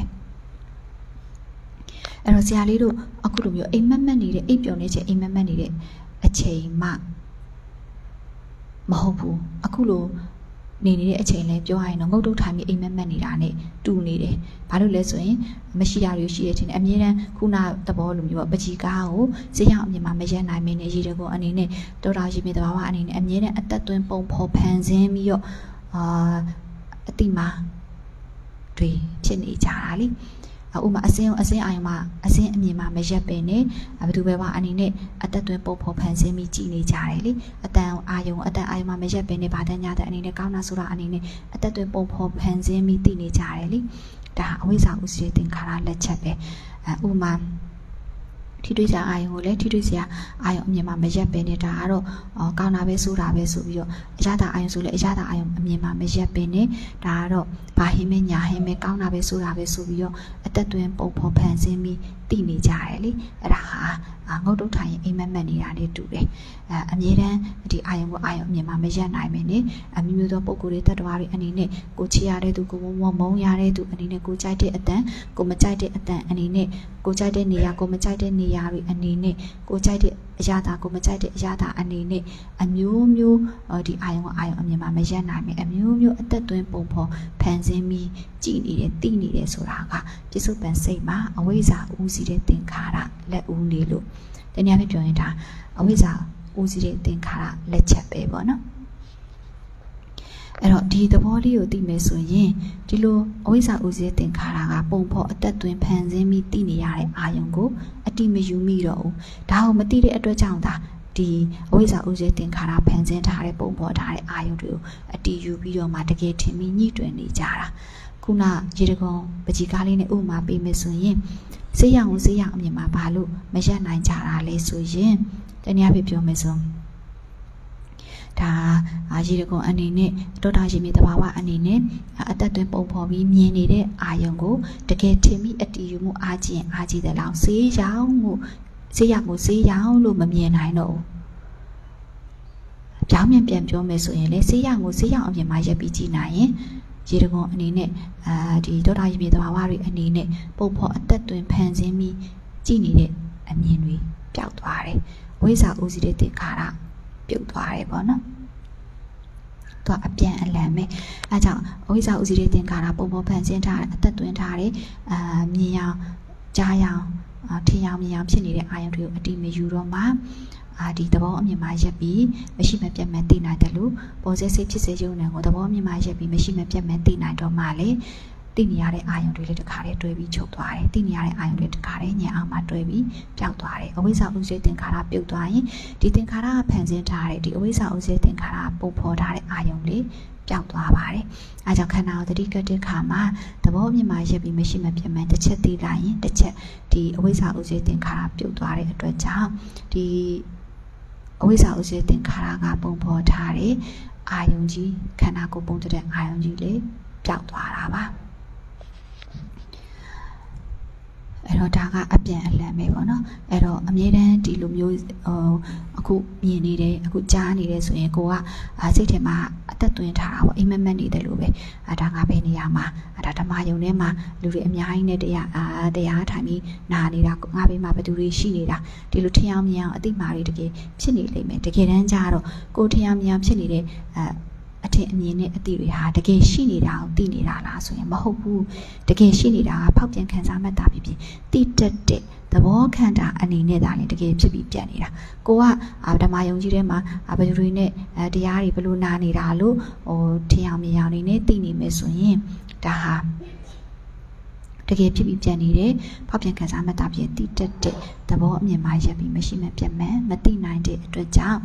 အဝိဇ္ဇာဥစည်းတဲ့သင်္ခါရကပုံဖော်ထားတဲ့အာယုန်တွေနောက်ကိုလိုက်နေကြတာပေါ့နော်အဝိဇ္ဇာဥစည်းတဲ့ သင်္ခါရပုံဖော်ထားတဲ့ဖန်ဆင်းထားတဲ့အသက်သွင်းထားတဲ့အာယုံကိုအာယုံမြန်မာမရက်နိုင်ပဲဓမ္မယုံအနေနဲ့အာယုံအာယုံမြန်မာမရက်နိုင်ပဲဘယ်သူပဲဝါဒီဘာတန်ညာတန်တွေအနေနဲ့အစင်းသက်အနေရတာထိတွေ့စရာသိစရာအာယုံတွေပေါ်မှာအာယုံမြန်မာမရက်နိုင်ပဲအမျိုးသောပုံကိုယ်တွေတ attva တွေအမျိုးသောအချိန်တွေနေရာတွေအနေနဲ့အသက်သွင်းပုံဖော်ပြီးကြည်နေရတယ်ဝိဇ္ဇာဥရှိတဲ့သင်္ခါရပုံဖော်ဖန်ဆင်းအသက်သွင်းထားတဲ့အာယုံတွေကိုအတီးယူပြီးသိနေတာပေါ့တကယ်တမ်းကျတော့ အာယုံမှာအာယုံအာယုံကိုအာယုံအမြင်မှာရက်နိုင်ရတယ်လို့အာယုံကိုခံစားမှတ်တာပြည့်စုံဆိုပြီးတိတက်တဲ့သဘောအပေါ်မှာလေသဘောအမြင်မှာရက်ပြီးမရှိမပြတ်မသိတဲ့ဉာဏ်ဖြစ်နိုင်မယ်ဆိုရင်တိနေရတဲ့အာယုံတွေပါတွဲပြီးချုပ်ဆုံးသွားတယ်တိနေရတဲ့အာယုံတွေပါတွဲပြီးပျောက်ဆုံးသွားတယ်အဲ့တော့စိတ်ထဲမှာဘယ်လိုကြီးဓမ္မယုံကြီးမှာအရင်တော့ဆိုရင်ဆရာလေးတို့တရားအမထုတ်ခင်တော့ဆိုအာယုံတွေကအရန်ထင်ရှားတာ အာခုနပြောဥမာနဲ့ပြောမယ်ဆိုတယောက်ကကိုယ်ကိုမျက်စောင်ထိုးလိုက်ပြီဆိုရင်မျက်စောင်ထိုးလိုက်တယ်ဆိုတဲ့အာယုံကြီးဟာစိတ်ထဲမှာအယံကိုအသက်ဝင်နေတာတကယ်ကြီးကိုအဲ့တယောက်ယောက်အနေနဲ့တကယ်ကြီးကိုမျက်စောင်ထိုးလိုက်တာအနေနဲ့တကယ်ကြီးကိုမကောင်းတာအနေနဲ့စိတ်ထဲမှာဆွဲပြီးအသက်ဝင်နေတာပေါ့နော်တကယ်တမ်းဒီစိတ်ဖက်ကိုလှည့်ပြီးတော့အာယုံကိုအာယုံအမြင်မှရက်တယ်လို့အာယုံကိုခံစားမှတ်တာပြည့်စုံဆိုပြီးတိတက်တဲ့ စိတ်အပေါ်မှာသဘောစိုက်တဲ့အမြင်နဲ့မရှိမှပြတ်မှန်သိနိုင်တဲ့အခါမှာကြတော့သိနေရတဲ့အာယုံတွေကလည်းတဖြည်းဖြည်းစိတ်သုံးလာတယ်။ဆရာလေးကအဲ့ဒီအချိန်မှာဘယ်လိုအတုံးအနှုံမျိုးနဲ့သုံးမိလဲဆိုရင်ပေါ့နော်။ဆက်ချခြင်းပေါ်စေစိတ်အပေါ်မှာအခုပြောတဲ့အတိုင်းဖောက်ပြန်ခံစားမှတ်တာဖြစ်ဖြစ်သိတတ်တဲ့ ဘာဝလက္ခဏာရှိတဲ့သဘောစိုက်တဲ့အမြင်နဲ့မရှိမှန်ပြတ်မှန်လက်တွေ့သိတဲ့ဉာဏ်ဖြစ်ရင်ဖြစ်လာသလားခံစားထားမှတ်တာတာဖြစ်ရင်စီဆိုသိထားတဲ့အာရုံတွေလေဉာဏ်အောက်မှာတဖြည်းဖြည်းစိတ်သုံးစိတ်သုံးစိတ်သုံးလာတယ်အဲ့ခါကျဘယ်လိုဖြစ်လဲဆိုဆရာလေးရဲ့အဲ့တုန်းကအမြင်ပေါ့နော်ဘယ်လိုဖြစ်လဲဆိုအရင်တုန်းကတခုခုမြင်လိုက်ရင်တရားရောက်အနေနဲ့အရင်ထင်ရှားတယ်နောက်ပိုင်းကျတော့တဖြည်းဖြည်းဝါဝါလာတယ်ဝါတယ်ဆိုတာမျက်စိဝါလာတာမဟုတ်ဘူးအာယုံတွေကစိတ်ထဲမှာမှီးမှိန်လာတယ် တိမ်မှုတဲ့စိတ်တွေရဲ့အပြက်ကိုမြင်လေလေတိမ်မှုတဲ့အာယုံတွေချုပ်လေလေအဲ့ခါကျတော့စိတ်ထဲမှာကိုမစွန့်နိုင်သေးတဲ့စိတ်တွေရှိနေသေးတဲ့အတွက်ကြောင့်သာမပြောက်သေးတဲ့အာယုံတွေပေါ်နေသေးတာတကယ်တမ်းအာယုံနဲ့စိတ်ကတွဲနေတယ်တစ်ချိန်မှာတစ်စိတ်တည်းဖြစ်နိုင်တယ်လို့တစ်စိတ်ကလည်းတစ်ချိန်မှာတအာယုံကိုပဲသိနိုင်တာအာယုံနဲ့စိတ်ကတွဲနေတယ်အဲ့တော့အာအကျန်းစားစိတ်တွေကိုအတည်ယူမှုအားကြီးတဲ့အတွက်ကြောင့်ဒီအကျန်းစားစိတ်တွေကသိနေရတဲ့အကျန်းစားအာယုံတွေကလည်းစိတ်ထဲမှာထင်ရှားနေတာပေါ့ ဒီဖြစ်တဲ့စိတ်တွေကိုသဘောစိုက်တဲ့အမြင်နဲ့မရှိမပြတ်မှန်သိခြင်းအပြင်အရှိမှုစွန့်နိုင်စွန့်နိုင်လာတဲ့နောက်ကဒီစိတ်ကသိနေရတဲ့အာရုံတွေလေးတခါတည်းတွဲပြီးချိုးချိုးချိုးချိုးပြီးညအောက်မှာစိတ်သုံးစိတ်သုံးလာဖြစ်တဲ့စိတ်ရဲ့အပြက်ကိုသိရင်သိတလောက်အာဒီဒီစိတ်ကသိနေရတဲ့အာရုံတွေလည်းညအောက်မှာတခါတည်းတွဲတွဲပြီးချုပ်ဆုံးလာတဲ့အခါကျတော့အဲ့ဒီအချိန်မှာဆရာလေးစိတ်ထဲမှာဘယ်လိုမျိုးပြည့်ညက်တင်မိလဲဆိုရင်အာယုံတွေကတိတ်မထင်ရှားတော့ဘူးအာယုံတွေတဖြည်းဖြည်းဝါဝါလာအရင်တော့ဆိုအတန်တန်ကြားလိုက်တာနဲ့ဒုံးစွာနဲ့လန့်သွားတာပေါ့နော်အာဟိုတယောက်ယောက်ခုပြောလိုက်တာနဲ့တခါတည်းဟိုစိတ်ဆိုရင်လည်းစိုးသွားတာ ဝမ်းနေရင်လည်းနေသွားတာပေါ့အာယုံတွေဟာစိတ်ထဲမှာအယမ်းကိုအသက်ဝင်နေတာပေါ့အသက်ဝင်လှုပ်ရှားနေတာပေါ့နော်ကောင်းတာဆိုတာဒီအနေနဲ့တကယ့်ကိုထင်ရှားပြီးအသက်ဝင်နေတာပေါ့တဖြည်းဖြည်းနဲ့ဒီအာယုံကိုခံစားမှတ်တာပြည့်ပြည့်စုံစုံပြီးတိတက်တဲ့စိတ်အပေါ်မှာသဘောဆိုင်တဲ့အမြင်နဲ့မရှိမပြတ်မှန်သိခြင်းအပြင်ဒီစိတ်ကသိနေရတဲ့အာရုံတွေပါညံအောက်မှာတဖြည်းဖြည်းစိတ်သုံးစိတ်သုံးစိတ်သုံးလာတဲ့အခါကျတော့စိတ်ထဲမှာအာရုံတွေကအရင်လိုတယောက်ယောက်အနေနဲ့အသက် ထင်ထင်ရှားရှားကြီးအသက်မဝင်မနေတော့ဘူးဘာတညာတန်နေအနေနဲ့စိတ်ထဲမှာထင်ထင်ရှားရှားကြီးအသက်ဝင်နေမနေတော့ဘူးကောင်းတာဆိုတာရဲ့အနေနဲ့ထင်ထင်ရှားရှားကြီးအသက်ဝင်နေမနေတော့ဒါပေမဲ့ပပလေးတော့ကြံနေသေးတယ်အဲ့ဒီအချိန်မှာသဘောပေါက်လိုက်တာကအော်ပပလေးစိတ်ထဲမှာနည်းနည်းလေးတော့အသက်ဝင်နေသေးတယ်ဆိုတာဘာကြောင့်လဲဆိုရင်ဒီအာယုံတွေကိုတည်တဲ့စိတ်တွေအပေါ်မှာမရှိမပြတ်မဲ့တည်ပြီးမစွန့်နိုင်သေးလို့ဒီအာယုံဒီစိတ်တွေကတည်နေရတဲ့အာယုံလေးတွေပေါ်နေသေးတာပေါ့ ဒီအချက်ကိုသဘောပေါက်လိုက်တဲ့အခါကျတော့ဖြစ်ပြီးပြတ်မဲ့မသိနိုင်သေးတဲ့တိမ်မှုတဲ့စိတ်တွေအပေါ်မှာသဘောစိုက်တဲ့အမြင်နဲ့တနည်းအားဖြင့်ပြောရင်သဘောအမြင်မှာရက်ပြီးအသိမှုဆုံးသဘောအမြင်မှာရက်ပြီးမရှိမပြတ်မဲ့တည်တဲ့ဉာဏ်ဥနိုင်ဖို့ဆက်ပြီးဥတည်ပေးပါတယ် အဲ့တော့ဒီဖြစ်တဲ့စိတ်ကိုယ်တာပြတ်မှန်တည်ပြီးစွန့်နိုင်ရင်တည်နေရတဲ့အာယုံကိုလည်းတွဲပြီးစွန့်နိုင်သွားတဲ့အတွက်ကြောင့်အာယုံတွေကထင်ရှားနေလို့အခုလက်ရှိမှာပဲကိုယ်စိတ်ကိုစမ်းကြည့်ကြည့်လို့ရတယ်။အာဓမ္မယုံထဲမှာတကယ်ကိုဟိုတရားထိုင်နေတာဆိုတဲ့အာယုံကြီးတရားနာနေတာဆိုအာယုံကြီးကစိတ်ထဲမှာတကယ်ကြီးအနေနဲ့အသက်ဝင်နေမယ်ဆိုရင်အဲ့ဒါကိုတည်တဲ့စိတ်တွေကိုအရှိယူထားသေးလို့အဲ့ဒါကိုတည်တဲ့စိတ်တွေအပေါ်မှာဖောက်ပြန်ခံစားမှတ်တာဖြစ်ဖြစ်တည်တတ်တဲ့သဘောစိုက်တဲ့အမြင်နဲ့မရှိမှပြတ်မှန်တာသိနိုင်မယ်ဆိုရင်ဒီစိတ်ကခံစားတာမှတ်တာပြည့်စုံဆိုပြီးတည်ထားတဲ့အာယုံတွေတခါတည်းတွဲပြီးချုပ်ဆုံးသွားတဲ့အခါကျတော့တကယ်ကြီးဓမ္မယုံထဲမှာတကယ်ကြီးတရားနာနေတာပါဆိုတဲ့အာယုံတွေပျောက်သွားတယ်စိတ်ထဲမှာတကယ်ကြီးပျောက်သွားတာအဲ့လိုမျိုးဖြစ်တဲ့စိတ်ကိုဒါပြတ်မှန်သိလိုက်ရင်ဒီစိတ်ကသိနေရတဲ့အာယုံတွေတခါတည်းတွဲပြီးချုပ်သွားတာတခါတည်းတွဲပြီးစိတ်သုံးသွားတာပေါ့နော် အဲ့တော့အာယုံတွေစိတ်ထဲမှာပေါ်နေတဲ့တရားအနေနဲ့တခုအနေနဲ့အဲ့လိုမျိုးပေါ့နော်အပေါ်လွင်နေတဲ့ထင်ရှားနေတယ်ဆိုရင်တေချာဒီအာယုံကိုခံစားမတာပြည့်စုံဆိုပြီးသိနေရတဲ့စိတ်ပေါ်မှာသဘောစိုက်တဲ့အမြင်နဲ့မရှိမပြတ်မှန်မသိနိုင်သေးလို့သဘောမြင်မှရက်ပြီးမရှိမပြတ်မှန်မသိနိုင်သေးလို့ပေါ့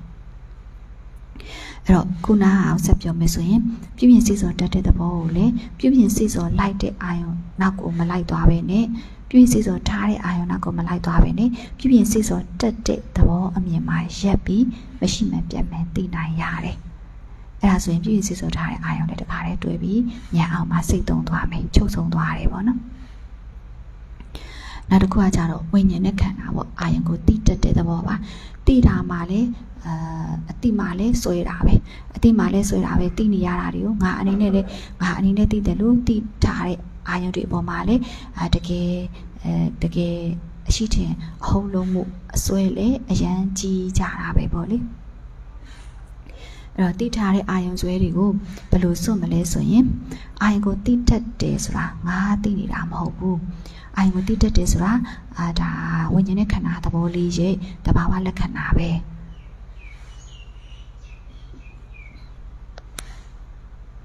အာယုံကိုတိတတ်တယ်ဆိုတာဝိညာဉ်နဲ့ခန္ဓာသဘောလေးရဲ့တဘာဝလက္ခဏာပဲဆိုတဲ့အမြင်နဲ့အိုင်ကိုတိတက်တာမှရင်ငါမဟုတ်ဘူးဆိုတဲ့အမြင်နဲ့အိုင်ကိုတိတက်တဲ့တဘာဝလက္ခဏာရှိတဲ့သဘောလေးကိုအာအသိမှုဆုံးသဘောဆိုင်တဲ့အမြင်နဲ့မရှိမပြတ်မတိတိုင်းပဲဆိုရင်ခုနပြောတဲ့အတိုင်းပဲပေါ့နော်သိနေရတဲ့အာရုံတွေတခါတည်းတွဲပြီးစွန့်မိသားဖြစ်သွားတယ် တခါတည်းတွဲပြီးညံအောင်မှစိတ်သုံးသွားတယ်ပေါ့နော်ကိုမတိတာမဟုတ်ဘူးသူများတွေလည်းကိုလိုတိတာပဲငါအနေနဲ့တိနေတဲ့စိတ်ကိုနိုင်ကငါမဟုတ်တဲ့အာရုံကိုတိတက်တဲ့တဘာဝလက္ခဏာရှိတဲ့သဘောလေးအနေနဲ့သာဖြစ်ပြီးပြန်နေတယ်အတေဝိဇာတနာကအကြောင်းရင်ပြစ္ဆုတ်မဲ့အာရုံဓာတ်တွေးဆုံတဲ့အကြောင်းရဲ့အကြောင်းသာမရှိရကနေ အသက်ရှိလာပြီးချုပ်သွားတယ်မဖြစ်ရကနေအသက်ဖြစ်လာပြီးပြတ်သွားတယ်အဲသဘောအမြင်မှာရက်ပြီးမရှိမှပြတ်မှန်သိပေးနိုင်မယ်ဆိုရင်သိနေရတဲ့အာရုံတွေလည်းတခါတည်းတွေ့ပြီးစွန့်ပြီးသားဖြစ်သွားပါမယ်အဓိကကမရှိရရှိလာတဲ့မဖြစ်ရဖြစ်လာတဲ့အာရုံကိုသိတတ်တဲ့တဘာဝလက္ခဏာရှိတဲ့သဘောလေးကိုသဘောမြင်မှရက်ပြီး မရှိမပြတ်မဲ့မသိနိုင်တဲ့အတွက်ကြောင့်သာသိနေရတဲ့အာရုံတွေတော့ကိုလိုက်သွားပြီးတော့ဘာပဲညာပဲဆိုတဲ့အတိမာတွေဖြစ်ပေါ်လာရတာပေါ့နော်တကယ်တော့အမ်အိုင်ကိုတိတက်တာမယ်ငါမဟုတ်တာသိကြတယ်လို့အိုင်ကိုတိတက်တဲ့တဘာဝလက္ခဏာရှိတဲ့သဘောလေးဟာလေ စာဖြစ်ကလေးကပြတ်ဖို့ဖြစ်လာတာစပေါ်ကလေးကပြတ်ဖို့ပေါ်လာတာဖြစ်ပြီးချင်းမှာပဲပြတ်သွားရတယ်ပေါ်ပြီးချင်းမှာပဲပျောက်သွားရတယ်ဆိုတဲ့အမှန်တရားကိုအရှိတန်းသိပြီးလိုက်ရင်ဒီသိနေရတဲ့အာယုံတွေတခါလေးတွဲပြီးစွန့်ပြီးသားဖြစ်သွားတယ်တခါလေးညံအောင်မှတွဲပြီးချုပ်ပြီးသားဖြစ်သွားတယ်ပေါ့နော် အာခုနပြောတယ်လို့ပဲအိုင်ကိုတိတက်တဲ့စိတ်အပေါ်မှာသဘောဆိုင်တဲ့အမြင်နဲ့မရှိမပြတ်မသိနိုင်ရင်သိနေရတဲ့အိုင်တွေတခါလေးတွဲပြီးချုပ်သွားတဲ့အတွက်ကြောင့်ဘယ်နေရာမှာဘာတွေလုံနေတဲ့ဓမ္မယုံကြီးမှာထိုင်ပြီးတရားနာနေတဲ့ဆိုတဲ့ဟာတွေတောင်မှဒါစိတ်ကသိနေရတဲ့အာယုံတွေပဲလေအာစိတ်ကသိနေရတဲ့အာယုံတွေပဲဆိုတော့ဒီအာယုံကိုသိတဲ့စိတ်ကိုသာသဘောအမြင်မှာရက်ပြီးမရှိမပြတ်မသိလိုက်နိုင်ရင်သိနေရတဲ့အာယုံတွေလည်းတခါလေးတွဲပြီးစွန့်ပြီးသားဖြစ်သွားတော့ဒီဓမ္မယုံထဲမှာတရားထိုင်ပြီးနာနေတဲ့ဆိုတဲ့ ဖြစ်ရကြီးကလည်းအာယုံမှာအပြန်ရှိမနေတော့ပဲတခါတည်းတွဲပြီးစွန့်မိတာဖြစ်သွားပါတယ်။ဖောက်ပြန်ပစ္စည်းမှုအနေနဲ့ အဖောက်ပြန်ပစ္စည်းတက်တဲ့သဘောမှာမိပြီးတော့အာယုံကိုခံစားတတ်မှတ်တာတက်ပြည့်ပြည့်စုံစုံတတိတက်တဲ့နံခန္ဓာလေးပါသဘောပေါင်းပေါ်ပေါင်းပြတ်နေတယ်။အဲ့ဒါကိုပဲဖောက်ပြန်ခံစားမှတ်တာပြင်တိတက်တဲ့ခန္ဓာ၅ပါးလို့ပြောတာပါနော်။ပေါ်စေစိတ်လေးတစ်စိတ်ကတကယ်တော့ဖောက်ပြန်ခံစားမှတ်တာပြင်ပြင်တိတက်တဲ့တဘာဝလက္ခဏာရှိတဲ့သဘောပေါင်းပေါ်ပေါင်းပြတ်သဘောအနေနဲ့ဒါလျင်တကယ်ဖြစ်ပြီးပြတ်နေပါတယ်။ခံစားထားမှတ်တာပြည့်ပြည့်စုံစုံပြီးတည်ထားတယ်။ အာယုံတွေမှာအမျိုးတော်ပုံကိုယ်တွေတ attva တွေအချိန်နေနေရာတွေကောင်းတာတွေဆိုတာတွေအနေနဲ့ဘာမှမပါပဲအာယုံကိုအာယုံအမြင်မှာရက်ပြီးကြည့်တတ်ရတယ်လို့ဒီအာယုံတွေကိုခန်းစားတတ်မှတ်တာတဲ့ပြင်းစီဆိုပြီးတိတက်တဲ့သဘောအပေါ်မှာလေသဘောအမြင်မှာရက်ပြီးမရှိမှပြတ်မဲ့သိနိုင်ရတယ်သဘောအမြင်မှာပေါ်စေစိတ်ကိုသဘောအမြင်မှာရက်ပြီးမရှိမှပြတ်မဲ့သိနိုင်ရင်ကြတော့သိနေရတဲ့အာယုံတွေပါတခါလေးတွဲပြီးစွန့်နိုင်သွားတယ်သိနေရတဲ့အာယုံတွေပါတခါလေးတွဲပြီးချုပ်သွားပါတယ်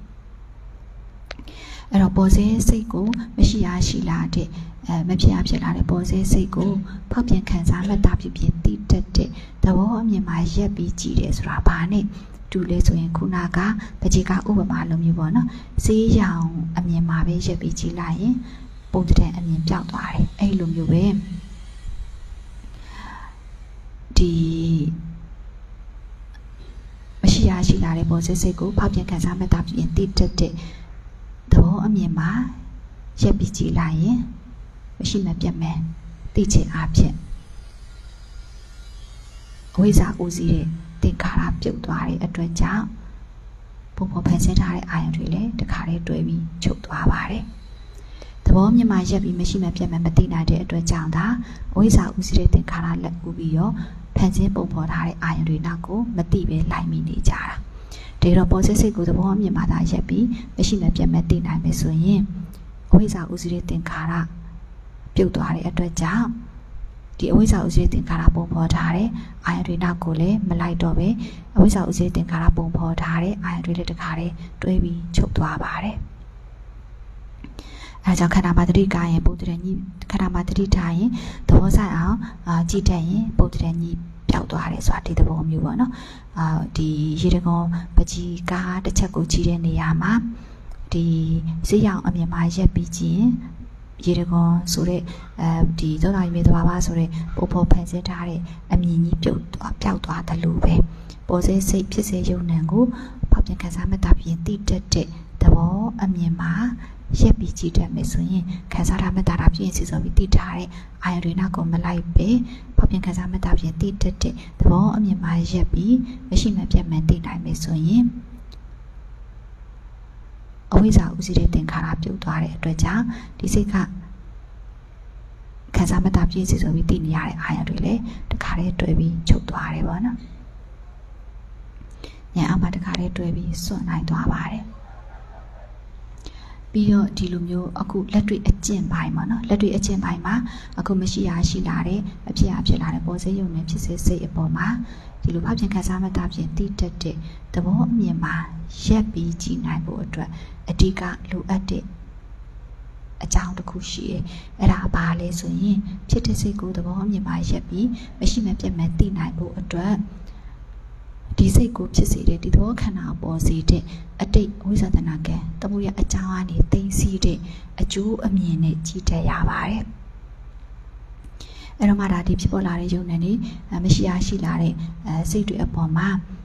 တမှုရအကြောင်းကတတိအတစ်ပတ်ပို့ပေးလိုက်လို့ဒါဖြစ်ရတဲ့အကျိုးအမြင်နဲ့အကြောင်းကနေသိသိတဲ့အကျိုးအမြင်နဲ့ကြည်လိုက်ကြည်တတ်မှသာပေါ်စိတ်စိတ်ဖြစ်စေယုံနံကိုသဘောအမြင်မှာရက်ပြီးမရှိမှပြတ်မဲ့တည်တဲ့ဉာ ဏ်ဦးနိုင်မှာပါ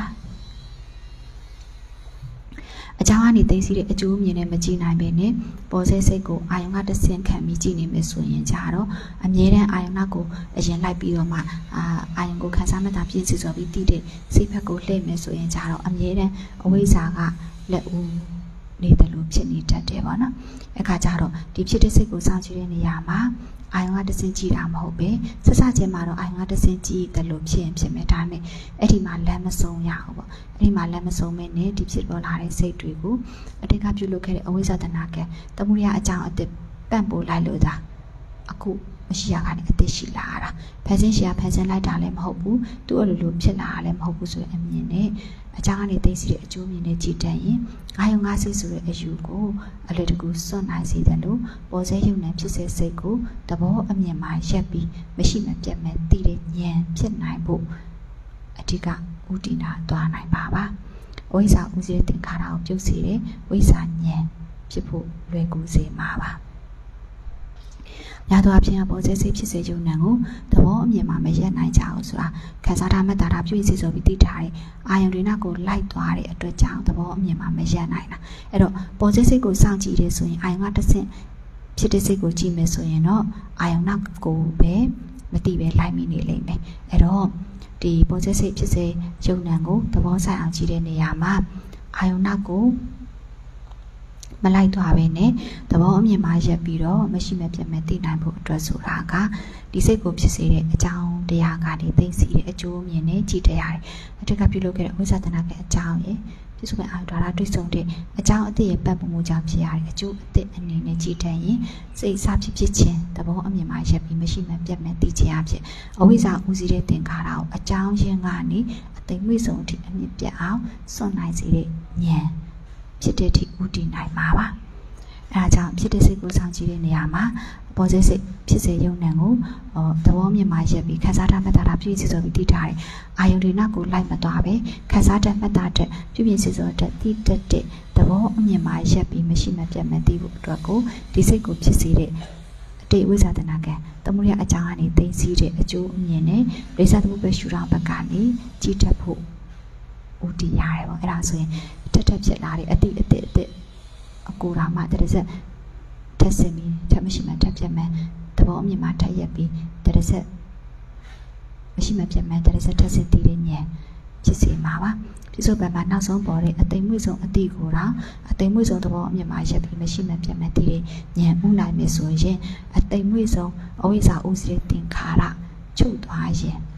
ဖြစ်ပြီးပြတဲ့ယုံနာကိုစွန့်ခွာတဲ့မဖြစ်မဖြစ်တဲ့နိဗ္ဗာန်သဘောဘက်ကိုလှည့်တဲ့ဉာဏ်ဖြစ်မှာပါမဉဏ်ဖူဉာဏ်နဲ့မှသာလေအဝိဇ္ဇာဥစရတင်ခါရကိုအသိမွေ့ဆုံးအထိချုပ်နိုင်စေမှာပါနော် အဲအကြောင်းမလို့ဒီအဝိဇ္ဇာဥစရတင်ခါတာပြုတ်တက်ပြုတ်ရကနေအသိဝိစုံဒီချုပ်တဲ့မညံဖူညံဖြစ်တဲ့ဒီဥတီတိုင်းဖို့ဆိုတာကပေါ်စေရုပ်နဲ့ဖြစ်စေစိတ်ကိုသဘောအမြင်မှာရက်ပြီးမရှိမပြတ်မဲ့တည်နိုင်ဖို့ကြိုးစားရတယ်။ခန်းစားထားမဲ့တာပြုရင်စီဆိုပြီးတည်ထားတဲ့အာရုံဒေတာကိုမလိုက်ပဲခန်းစားတတ်မဲ့တာပြုရင်စီဆိုပြီးတည်တတ်တဲ့သဘောအမြင်မှာရက်ပြီးမရှိမပြတ်မဲ့တည်နိုင်ဖို့အတွက်ပေါ်စေရုပ်နဲ့ဖြစ်စေစိတ်ကိုအကြောင်းကနေသိသိတဲ့အကျိုးအမြင်နဲ့ကြည့်တတ်ရပါတယ်။ ချိန်ပြေပါပြီကုသိုလ်ကောင်းမှုအဆူဆူအတွက်အများပေးဝေပါမယ်